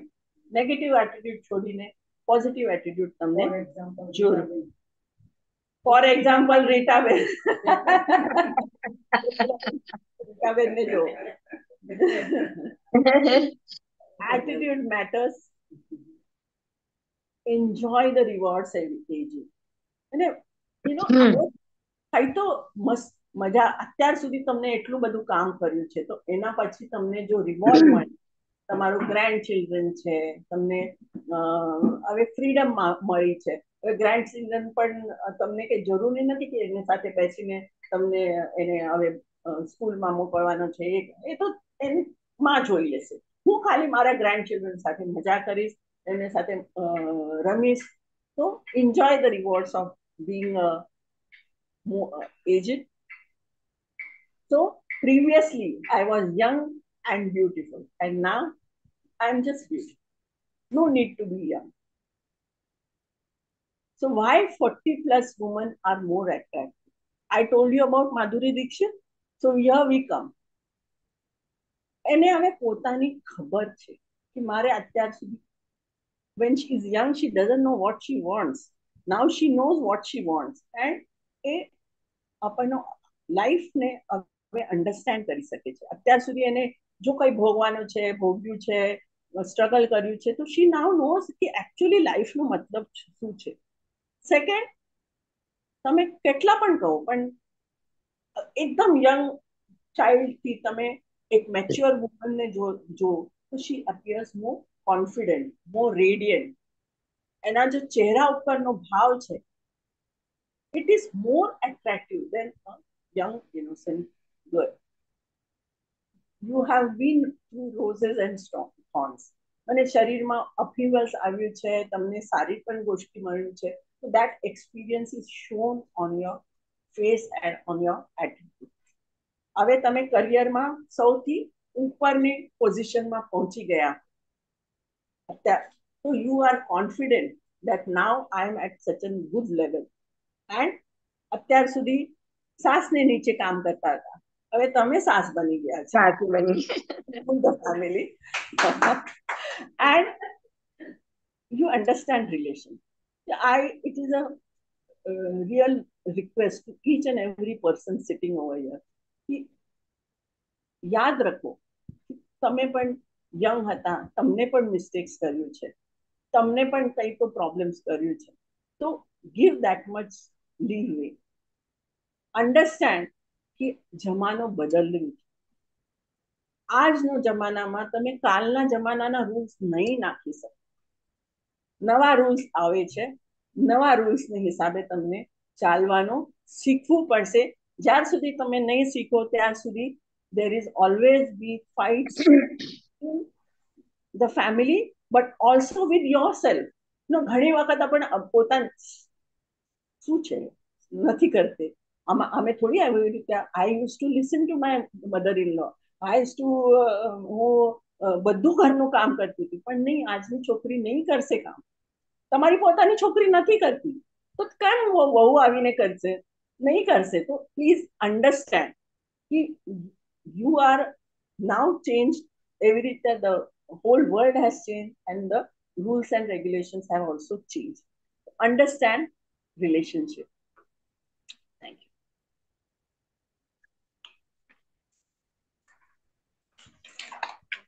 બહુ જ સરસ નીલિમાબેન બહુ જ ફાઇન એકદમ સરળ ભાષામાં અને બહુ સરસ સમજાવ્યું તમે કે આફ્ટર ફોર્ટી ક્યાં ક્યાં ચેન્જીસ આપણા શરીરમાં આવી શકે છે. હવે તમારું, તમે ફૂલ સ્ક્રીન પર આવી જાઓ ને.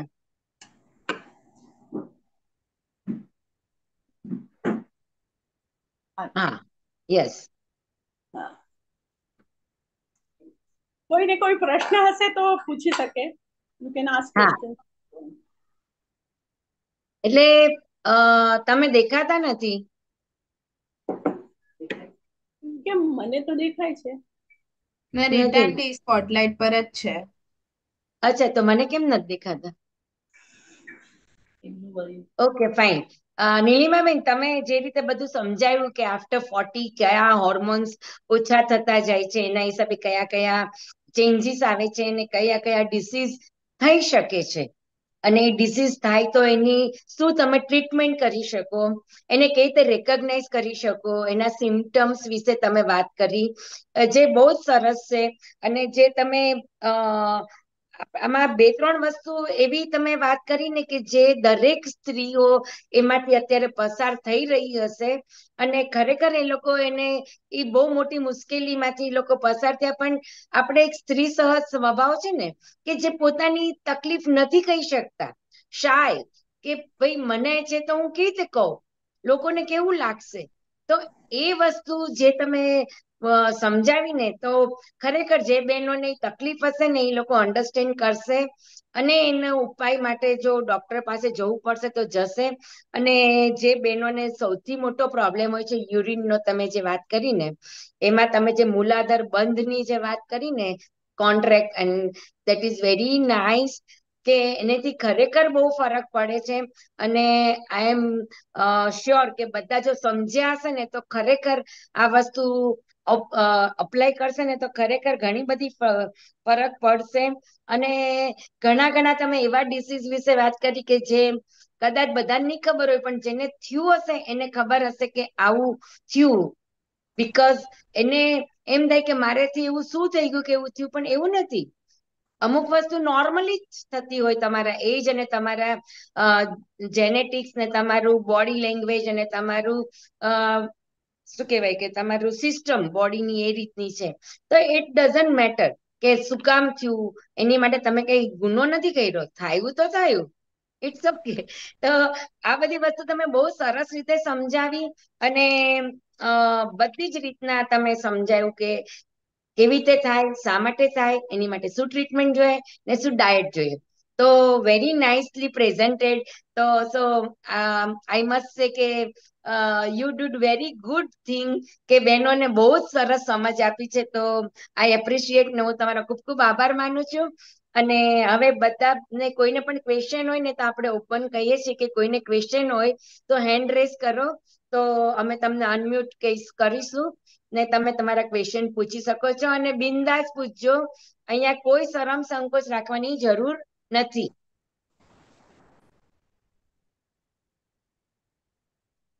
પ્રિયાંશી બધાને અનમ્યુટનું પેલું કરી દેજે જેને પણ હા જેને પણ થવું હોય જાતે અનમ્યુટ થઈ શકશો તમે.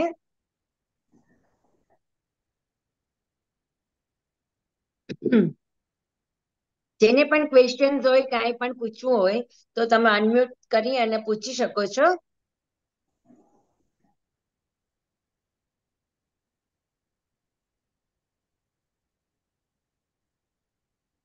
તમારા કોઈ પર્સનલ પ્રોબ્લેમ્સ હોય તો એ પૂછી શકો છો ને હું પછી આમાં નીલિમાબેન નો નંબર કરીશ તમે એમને મેસેજ કરી ટાઈમ લઈ અને વાત કરી શકો છો.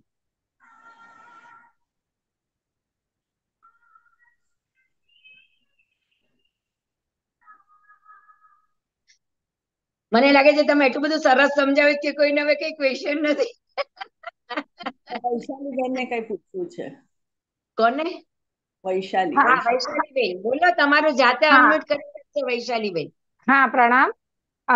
નીલિમાબેને બહુ સરસ બધું સમજાવ્યું. તો મેઇન આ યુરિનનો જે પ્રોબ્લેમ છે ને એ મને છેલ્લા દસેક વર્ષથી છે મને અતિશય પાણી પીવા જોઈએ છે. એટલે રાત્રે મારે ત્રણ વાર ઉઠવું જ પડે છે બે ત્રણ વાર. એટલે મારી ઊંઘ બહુ ચૂ થાય છે. તો એના માટે નીલાબેન નીલાબેન આપે કીધું પણ એને સિવાય કઈ કરી શકીએ? હા મને તમને બહુ પ્યાસ લાગે છે અને બહુ યુરિનમાં થાય છે બરાબર? હા. હા પણ તમને તમારું ડાયાબિટીસ ચેક કર્યું? હા કર્યું છે. નથી મને. એવું કઈ નથી ને? તો તમારું શું છે કે તમારું હોલ્ડ કરવાની જો શક્યતા છે ને અને બ્લેડરનો જો જેટલું પ્રમાણમાં પાણી અંદર રાખવાની ક્ષમતા હોય છે એ ઓછી થઈ ગઈ હશે. તો બેટર છે કે તમે એક વખત ડોક્ટરને મળી લેજો અને યુરોલોજીસ્ટને મળજો ગાયનાકોલોજીસ્ટ કરતા વધારે યુરોલોજીસ્ટને મળજો.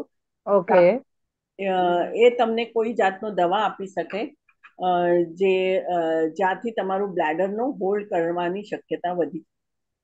અચ્છા અચ્છા. કારણ કે પહેલા એવું અ, તરસ એટલી બધી લાગે હું દિવસનું ત્રણ લીટર ઉપર પાણી પીવું છું એટલે બાથરૂમ વધારે જવું પડે. ને હવે ઇનફેક્ટ તમે જે કીધું ને એ પ્રમાણે મોનોપોઝની પછી આ, રોકી નથી શકતા. ફટાફટ જવું જ પડે આપણે. We can't control yes because A problem મને પેશાબમાં લાગ્યું છે પણ બાથરૂમ સુધી જવાના પણ કોકવાર પ્રોબ્લેમ થઈ જાય. તો આ હમ. જો but then for that it is important કે તમે કોઈ યુરોલોજીસ્ટને બતાવજો. જો તમને કોઈ જાતની મેડિસિન્સ આપી શકે અને એને અમે અર્જ ઇન્કોન્ટિનન્સ કહે છે કે આને અર્જ થાય પેશાબ કરવાનું અને તમે હોલ્ડ નહીં કરી શકો. તો but proper treatment is even by a urologist okay okay thank you thank you so much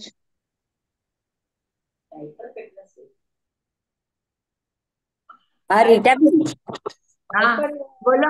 પૂછે છે કે ડાયપર કેટલા સેફ છે? તો diaper safe but then diaper વાપરવાની શક્યતા ન આવવું જોઈએ એના માટે you should get yourself operated કારણ એટલું જ તમને તકલીફ છે કે તમે હોલ્ડ જ ના કરી શકતા હોય અને તમને પેશાબ બહાર આવતી હોય તો તમને કોઈને યુરોલોજીસ્ટ પાસે જઈને એની પ્રોપર ટ્રીટમેન્ટ કરવું જોઈએ. પણ કોઈ કોઈ સ્ત્રીઓ હોય છે કે જે બહારગામ જતા હોય અને એમને યુરિનમાં જવાની જગ્યા ના મળે અને એના માટે ડાયપર પહેરવું પડતું હોય તો પછી દેટ ઇઝ ઓકે ડાયપરથી તકલીફ ના થાય, પણ ડાયપર એક અમુક એક બે ત્રણ કલાકથી વધારે ન નાખવું જોઈએ. કારણ એનાથી જો હીટ તૈયાર થાય છે, આ હીટથી તમને ફંગલ ઇન્ફેક્શનની ચાન્સીસ વધી જાય. રાઈટ બરાબર છે.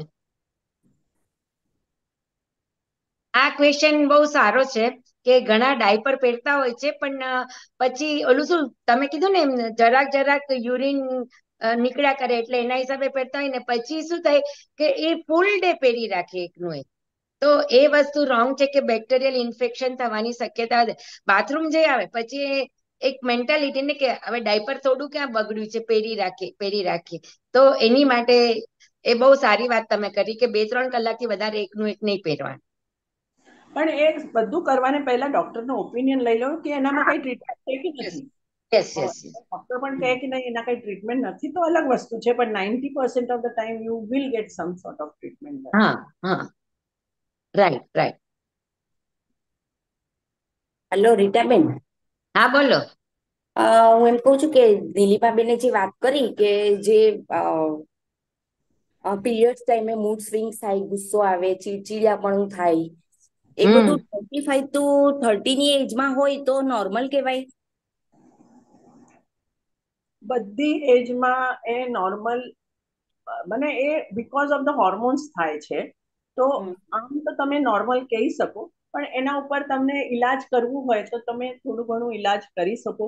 પણ exercise is a very good form કે તમે માસિક આવવાને પહેલા પંદર દિવસ પહેલા પ્રોપર એક્સરસાઇઝ કરતા હોય તો તમારે મૂડ સ્વિંગ્સ શું થાય છે કે માસિક આવતા પહેલા તમારો બોડીનો વોટર કન્ટેન્ટ વધી જાય છે. તમે જોતું હોય કે માસિક આવવા પહેલા હું બહુ મોટી લાગુ છું. અને માસિક આવી જાય તો હું બહુ મોટી થઈ થઈ જાઉં. Ninety percent of people will say that because તમારું શરીરનું પાણી વધી ગયું છે અને એ જેવી રીતે શરીરમાં વધે છે એવી રીતે બ્રેનમાં વધે છે.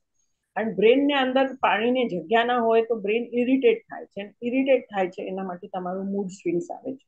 તો ઇરિટેશન ગુસ્સો આવવાનો એ બધું જો છે એ that is because the water content is more તો એ વોટર કન્ટેન્ટ ઓછો કરવા માટે તમે એક્સરસાઇઝ કરો ફેટ ઓછા ખાઓ અને થોડું ડિસ્ટ્રેસિંગ માટે યોગા છે પ્રાણાયામ છે એ તમે કરશો તો તમને એ તકલીફ બહુ ઓછી થઈ જશે. ઓકે થેન્ક યુ ભાવનાબેન કોણ છે? ભાવનાબેન? ભાવના ભાવના હા. હા. એટલે મારી દીકરીને મારી દીકરીને આ પ્રોબ્લેમ છે. પીરિયડ્સમાં થવાની હોય ને પેલા બહુ જ એને ચીડચીડિયા થઈ જાય. ગુસ્સો આવે રડવું આવે. એમણે કીધું ને કે બહુ જ રડવું આવે. નોર્મલ નોર્મલમાં ગણાય ને એ જ પ્રમાણે એમ. આમ નોર્મલ જ છે કે એને કઈ ડિઝીઝ નથી બોડીની જો હોર્મોન્સને કોપ કરવાની શક્તિ છે એ ઓછી છે. તો એના માટે વોટર કન્ટેન્ટ તો એને કહેજો કે તું. તારું તો વજન ઓછું કર. પંદર દિવસ પહેલા નો ફેટ માસિક આવવાને પહેલા નો ફેટ કેક છે બિસ્કિટ છે બટર છે તળેલું વસ્તુ છે એ બધું બંધ કરી નાખજો. અને એક્સરસાઇઝ રેગ્યુલર તમે એટલીસ્ટ પંદર વીસ મિનિટનો એક્સરસાઇઝ એ કરે ને તો એને એકદમ ઓછી થઈ જાય. Okay thank you thank you very much હવે કોઈને ક્વેશ્ચન હોય તો પૂછી લ્યો, પછી આપણે રિવ્યુઝ માટે જઈએ અને પછી એક બહુ ઇમ્પોર્ટન્ટ એનાઉન્સમેન્ટ કરવાનું છે. હા, બોલો વૈશાલીબેન. હજુ એક સવાલ હતો કે આપે કીધું એમ વિટામિન્સ લેવા જોઈએ ફોર્ટી પછી કે મલ્ટીવિટામિન્સ લેવા જોઈએ બી ટ્વેલ્વ અને ડી થ્રી માટે, તો એનું કોઈ સારું કહી શકશો નામ કે કઈ લેવી જોઈએ અમારે વિટામિન્સ? આવે છે. ઘણી બધી આવે છે. વિટામિન ડી નો પાવડર આવે છે પછી ગોળી આવે છે. તમારો જનરલ પ્રેક્ટિશનરને તમે પૂછી લેજો. એ તમને લખી આપશે. અને આમ હું મોડાથી કહું તમે સ્પેલિંગ બરાબર ના લો તો પ્રોબ્લેમ થઈ શકે. ડી થ્રી મસ્ટ કરીને આવે છે. કેલ્સિરોલ સેચેસ આવે છે. તો you can have anything of that અને બી ટ્વેલ્વ માટે પણ ન્યુરોબિયોન છે. ઝિંકોવિટ છે. ઘણા બધા મલ્ટીવિટામિનના ટેબ્લેટ્સ આવે. એ તમે લઈ શકો. થેન્ક યુ નીલુબેન નૈનાબેન દોશી અ, તમે તમારા પ્રતિભાવ જણાવો. દામિનીબેન હર્ષાબેન જે પણ હાજર હોય. છાયાબેન. તમે અમને નીલ આકાશની સફર કરાવી તમે ત્રણસો સાહીઠ ડિગ્રીમાં ચાલીસ પછી કેમ જીવવું શું ધ્યાન રાખવું એ એટલી સહજતાથી સમજાવ્યું અને શીરાની જેમ ગળે ઉતર ચાલો બધાને ખબર જ છે એવું નથી કે નહોતી ખબર. પણ ઘણી બધી વસ્તુને તમે અમારી માટે આઈ ઓપનર બની ગયા છો. કારણ કે આપણે ઘણી વસ્તુ કોઈ બીજાની માટે જે બીજાએ પ્રિડિક્ટ કરી હોય એ આપણે આપણા પર લઈ લઈએ છીએ.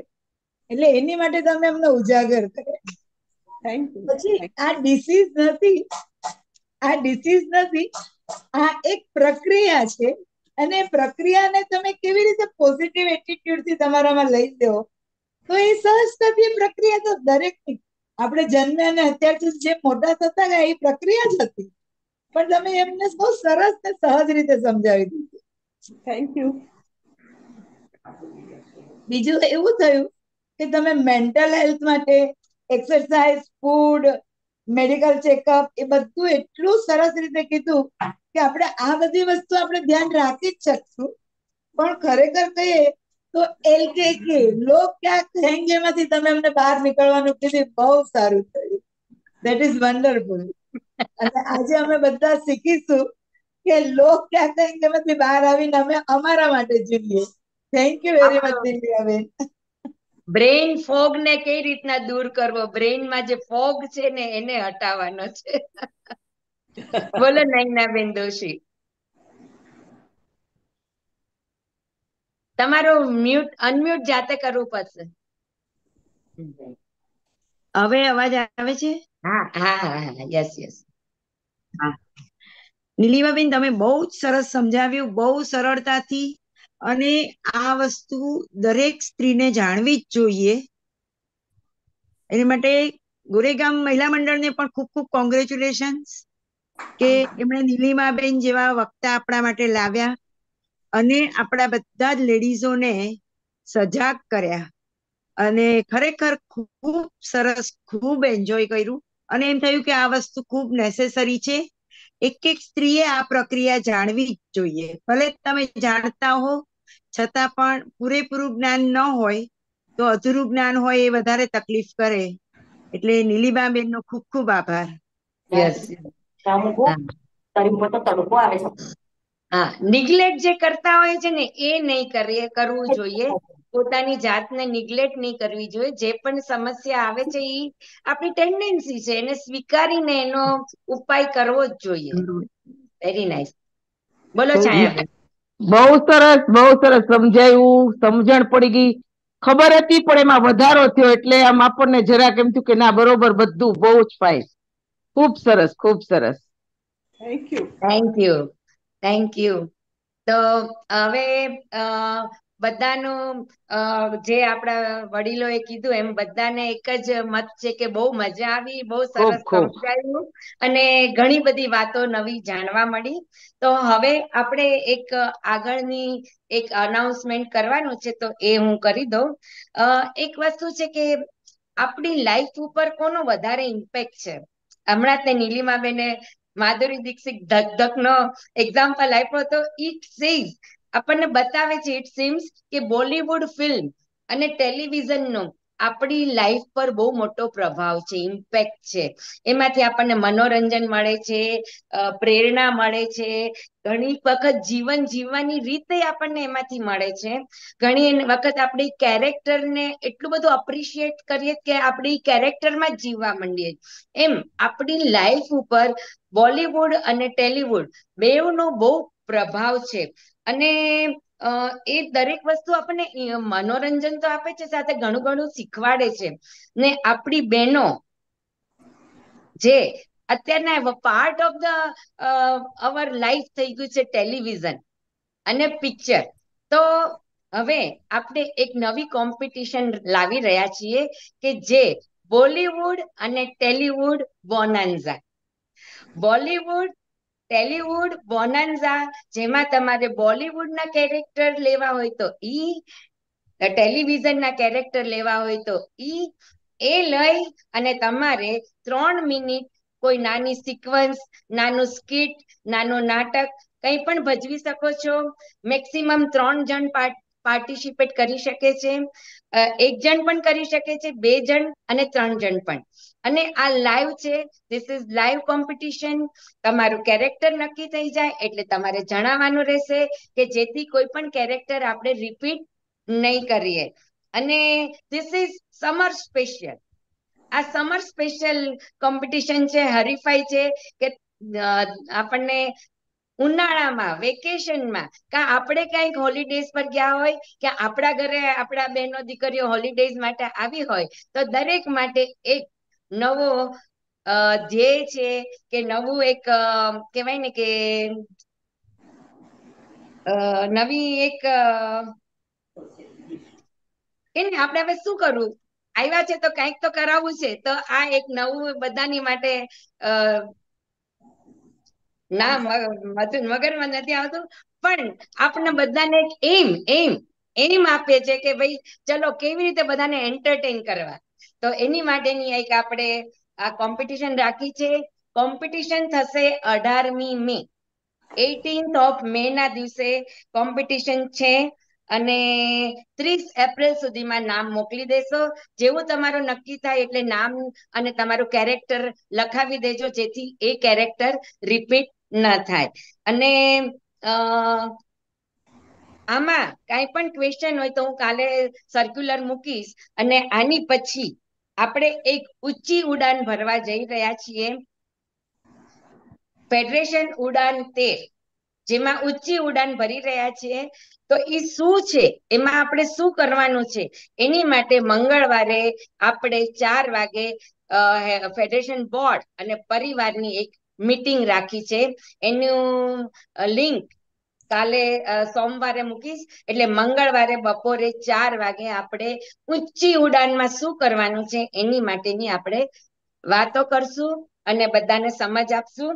અને તો આજે આપણે બે પ્રોગ્રામ જાહેર કર્યા છે. એક અઢારમી મે, બોલીવુડ ટેલીવુડ બોનાન્ઝા જેમાં બોલીવુડ અને અથવા તો ટેલિવિઝનના કોઈ પણ કેરેક્ટરને તમે પ્રેઝન્ટ કરી શકો છો. એટલે એક જ કેરેક્ટર નહીં સિક્વન્સમાં આવતા હોય બે ત્રણ કેરેક્ટર બી એક સાથે તમે લઈ શકો છો. એટલે નાનું ડ્રામા નાનું નાનું skit dialogue delivery anything you can do within three minutes ત્રણ મિનિટનો ટાઈમ છે. ત્રણ મેક્સિમમ મેમ્બર્સ પાર્ટિસિપેટ કરી શકે છે. વધારે હું કાલે સર્ક્યુલરમાં મૂકીશ. તો આ થઈ આપણી વાત કે હવે ફેડરેશનમાં કઈ કઈ ઇવેન્ટ આવી રહી છે અને હવે નેક્સ્ટ પ્રોગ્રામ આપણો છ એપ્રિલનો છે. એની માટે આપણને આમંત્રણ આપવા આવ્યા છે સાંતાક્રુઝ મહિલા મંડળના પ્રમુખ વીણાબેન.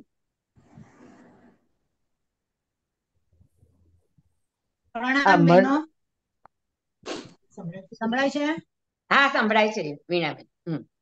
સ્થાપક પ્રમુખ કળાબેન, ફેડરેશન પ્રમુખ રીટાબેન પાસ પ્રેસિડેન્ટ ગેલેક્સી અને વાઇસ પ્રેસિડેન્ટ તથા હોદ્દેદારો અને સર્વ મંડળના પ્રતિનિધિઓને સાંતાક્રુઝ મંડળના પ્રણામ. સાંતાક્રુઝ મંડળ ખાસ પ્રોગ્રામ લઈને આવી રહ્યું છે. આપણે જ આપણા ડોક્ટર બનીએ. દવા વગરની ટ્રીટમેન્ટ એક નવી આશાનું કિરણ લઈને આવે છે. આ કિરણ અમારા મંડળના મયુરીબેન, હિમાંશુ દોશી લઈને આવે છે. અને આમાં Sujok therapy, colour therapy, seed therapy અને બોડી ડિટોક્સ. તો આવો આપણે સૌ સાથે મળીએ તારીખ છ એપ્રિલ શનિવાર. બપોરે ત્રણ વાગે ઝૂમ મિટિંગમાં જીવનને ટેન્શન વગરનું બનાવીએ. સાંતાક્રુઝ મંડળ વતી બધા મંડળોને હાર્દિક આમંત્રણ આપું છું. સરસ વિનાબેન બહુ જ ફાઇન અને ડેફિનેટલી તમે નેચરોથેરાપી પર બધાને લઈ જાઓ છો. અને બહુ સરસ રીતે આપણે બધા ફેડરેશનની બધી બહેનોને દરેક બાજુનું આપણે જ્ઞાન આપી રહ્યા છે. પેલા કેન્સરનું થયું, અત્યારના નીલિમાબેને આપણને લાઈફ આફ્ટર ફોર્ટી વિશે બહુ સરસ સમજ આપી. અને હવે આપણે naturotherapy how work on our body અને કેને- કેવી રીતે અપ્લાય કરવું જોઈએ એની વિશેની આપણે જાણકારી મેળવીશું. તો બહુ જ સરસ. અને હવે હું કોકિલાબેનને આજની આભાર વિધિ કરવા માટે આમંત્રિત કરું છું. રીટામાંથી રીટાવાસી મંડળમાં એક જ ભાગ લઈ શકશે? એક એક દરેક મંડળની એક એન્ટ્રી વન એન્ટ્રી દરેક મંડળની એક એન્ટ્રી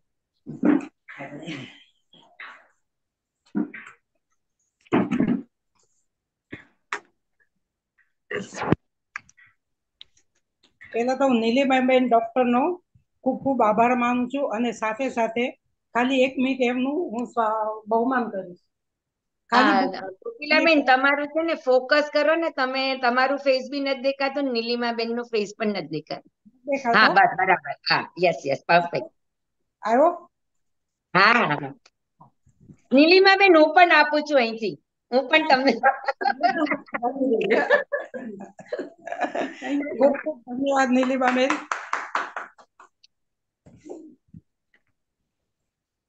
ડોક્ટર નીલિમાબેન જે છે એ મહિલા સમાજમાં અત્યારે ઉપપ્રમુખ તરીકે પણ ફરજ બજાવી રહ્યા છે. મને ખાલી એક પ્રોગ્રામમાં મળ્યા નીલિમાબેન. મેં કીધું કે મારે એક પ્રોગ્રામ આપવો છે તો મને કે હા હું આપીશ. મારે તો નીતાબેન એકચ્યુઅલી કેન્સર કેમ્પનો પ્રોગ્રામ કરવાનો હતો. પણ બોરે અરે મલાડ મહિલા મંડળે આપ્યો. એટલે પછી એમણે કીધું કે કઈ વાંધો નહીં આપણે બીજો પ્રોગ્રામ આપશું. તો નીલિમાબેન એમનું પોતાનું આજે ડોક્ટર હોય તો એમને ટાઈમ મળવો અને આટલો ટાઈમ કાઢવો બહુ તકલીફ છે. અને એ પણ અમારા ઘરે આવીને એમના ક્લિનિકમાં રહી અને એમણે પ્રોગ્રામ નથી આપ્યો. અમને અમારી સાથે રહી અને પ્રોગ્રામ આપ્યો. એ બધા નીલિમાબેનનો હું અમારા દરેક કમિટી મેમ્બરો અને મંડળ તરફથી આભાર માનું છું. સ્થાપક પ્રમુખ શ્રી કળાબેન નો હું આભાર માનીશ કે જેમણે ફેડરેશનની સ્થાપના કરી અને આપણને આ આટલા મોટા વટવૃક્ષ તરફ વટવૃક્ષ બનાવી અને આપણને એકદમ તૈયાર કર્યા. તેમજ શ્રી પ્રમુખ શ્રી રીટાબેનનું આભાર માનીશ કે એ પોતે ફેડરેશનમાં આવ્યા પછી રોજ અવનવા પ્રોગ્રામો આપી અને બધાનો જ કોન્ફિડન્સ ખૂબ જ વધાર્યો અને પોતા બધામાં હિંમત એટલી બધી આવી ગઈ છે કે હું પણ કંઈક તો કરી શકીશ. અને એ કરી અને આજે બધા જ બહેનો અલગ અલગ પ્રોગ્રામો આપવા માટે તૈયાર થઈ ગયા અને રીતાબેને આજે બીજા જ કામે લગાડી દીધા કે હવે પછી પાછો એક બીજા નવા પ્રોગ્રામ માટે બધા તૈયાર થઈ જાઓ. તો એ બદલ આવા અમારા ઉત્સાહી પ્રમુખ શ્રી રીટાબેનનો હું આભાર માનીશ. તેમજ પાર્ટ પ્રેસિડન્ટ ગેલેક્સી જે એમને પણ એમનો અમૂલ્ય ટાઈમ આપી અને અમારો પ્રોગ્રામ માણ્યો અને એના માટે એમનો જે રિવ્યુ આપ્યો એ બદલ હું એમનો પણ આજે ખૂબ ખૂબ આભાર માનું છું. સાથે સાથે આ જ પ્રોગ્રામમાં જે બપોરના બધા આરામ કરવાનો ટાઈમ હોય, એનો ટાઈમ કાઢી અને બધી જ બહેનો જોડાણી અને અમને જે સાથ સહકાર આપ્યો એ બદલ હું બધાનો જ આભાર માનું છું. બેન શ્રી પ્રિયાંશી, જેને આપણને ટેકનિકલ તકલીફ ન પડે અને એની ખૂબ જ સારી એવી તકેદારી રાખી અને પ્રોગ્રામ જે હેન્ડલ કર્યો તે માટે હું પ્રિયાંશીનો પણ ખૂબ ખૂબ આભાર માનું છું. ખૂબ ખૂબ આભાર રીતાબેન અને દરેક દરેક બહેનોનો હું આભાર માનું છું. ધન્યવાદ. થેન્ક યુ હવે હું આપનો આભાર માનું છું કે ગોરેગાંવ મંડળ બહુ સરસ પ્રોગ્રામ લઈને આવ્યું. નીલિમાબેન નો આભાર કે એમને બહુ સરસ રીતે સમજાયું. અને મને પેલા કીધું મને ગુજરાતી નથી આવડતું, પણ તમે બહુ સ્વીટ લાગતું હતું. તમે જે બોલતા હતા ઇઝ વેરી નાઇસ અને બહુ જ મજા આવતી હતી સાંભળવાની. અને આણી બહુ મજા આવી. જે રીતના બધાએ હાજરી આપી અને બધા ભેગા થયા અને બધાએ પોતાનો સમય આપ્યો તે બદલ બધાનો ખૂબ ખૂબ આભાર. પ્રિયાંશી આપણને બધાને જોડી રાખે છે અને જ્યાં પણ ટેકનિકલ ઇસ્યુઝ આવે તો તરત જ એ શોર્ટ આઉટ કરે છે. તો તેનો પણ આભાર. આપણા past president Galaxy secretary region chairpersons અને ખજાનચી ને આપણા સલાહકાર સમિતિના સભ્ય ઇન્દિરાબેન સુરેશભાઈ ચાવાડા બધાએ હાજરી આપી અને પ્રોગ્રામને બહુ સરસ દીપાયો છે. તે બદલ બધાનો આભાર અને પાછા આપણે જલ્દી જલ્દી મળશું.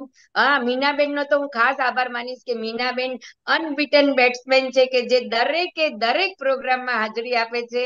તો ખરેખર આ બધા આપ થકી તે દરેક થકી આ પ્રોગ્રામ આપણો હંમેશા સક્સેસ જાય છે અને જે પણ આપણને મળે છે એનો આપણને બધાને લાભ મળે છે. ઘણી વખત સંજોગો વસાત આપણે ઓછા વત્તા અત્યારે જોઈન થઈએ છીએ ઝૂમ પર પણ પાછળથી યુટ્યુબ લિંકમાં પાંચસો થી વધારે બહેનો વિઝિટ કરી અને આ જે જ્ઞાન અને રમત ગમત કે મનોરંજન જે પણ પ્રોગ્રામ છે એનો લાભ લે છે. તો દરેકનો ખૂબ ખૂબ આભાર અને ફરીથી આપણે પાછા જલ્દી જલ્દી મળતા રહીશું. થેન્ક યુ અગેન નીલિમાબેન અને કોકિલાબેન ગોરેગાંવ મંડળના દરેક પ્રતિનિધિ દરેકનો ખૂબ ખૂબ આભાર અને મળીએ. થેન્ક યુ ખુશ રહેજો મસ્ત રહેજો મજાની ખોજ કરજો અને સ્વસ્થ રહેજો. Good night good night good night નીલિમાબેનનો number programme છે. હા નંબર હું મોકલી મૂકી દઈશ ગ્રુપમાં અને નીલિમાબેન જે સ્લાઇડ શેર કરવાનું કહે છે ને એ પણ હું નીલિમાબેન પાસેથી મગાવી અને એ પણ શેર કરી દઈશ કે જેથી દરેક જણ પોતાની રીતે પોતાનું એક્ઝામિનેશન સરસ રીતે કરી શકે. હા આ પ્રોગ્રામ આપણે એટલે જ રાખીએ છીએ કે તમે બધા અવેરનેસ બધાનામાં આવે એક જાગૃતિ આવે અને જે સંકોચ શરમથી આપણે આપણા દર્દને આપણી અંદર વધવા દઈએ છીએ નહીં વધવા નહીં દેતા એને ત્યાં અટકાવી દઈએ. એની માટે છે તો નીલિમાબેન નો નંબર પણ શેર કરું છું. પણ નીલિમાબેન ને મેસેજ કરીને સીધો ફોન નહીં કરતા. મેસેજ કરજો એ સમય આપે ત્યારે વાત કરજો. Okay okay okay okay bye bye okay ચાલો. તો બોલીવુડ ટેલીવુડ બોનાન્ઝા માટે બધા રેડી થઈ ગયા અને જલ્દી જલ્દી ના હવે કંઈક નવો નવો ગુલદસ્તો લઈને આવો છો. એજ તો. એટલે જો હમણાં નામ આવવા જ મંડ્યા છે એટલે પાછા પોતાનો કેરેક્ટર જલ્દી નક્કી કરી અને નામ લખાવી અરે. બાપા ઓકે થેન્ક યુ બધાનો. સાથ સહકાર ને ઉત્સાહ છે ને છાયા એટલે તો આપણે નવી નવી સો ટકા સો ટકા સો ટકા આજે. હસુ મામી આવ્યા છે આજે કેમ છો જય જીનેન્દ્ર હેલો જય જીનેન્દ્ર જય જીનેન્દ્ર કે જય જીનેન્દ્ર હા. બોલો જય જીનેન્દ્ર જય જીનેન્દ્ર. બસ બધા વડીલો આ રીતે આશીર્વાદ આપતા રહેજો અને આપણું ફેડરેશન ખુલ્યું ફાલ્યું અને ખૂબ હજી મોટું વટવૃક્ષ બનતું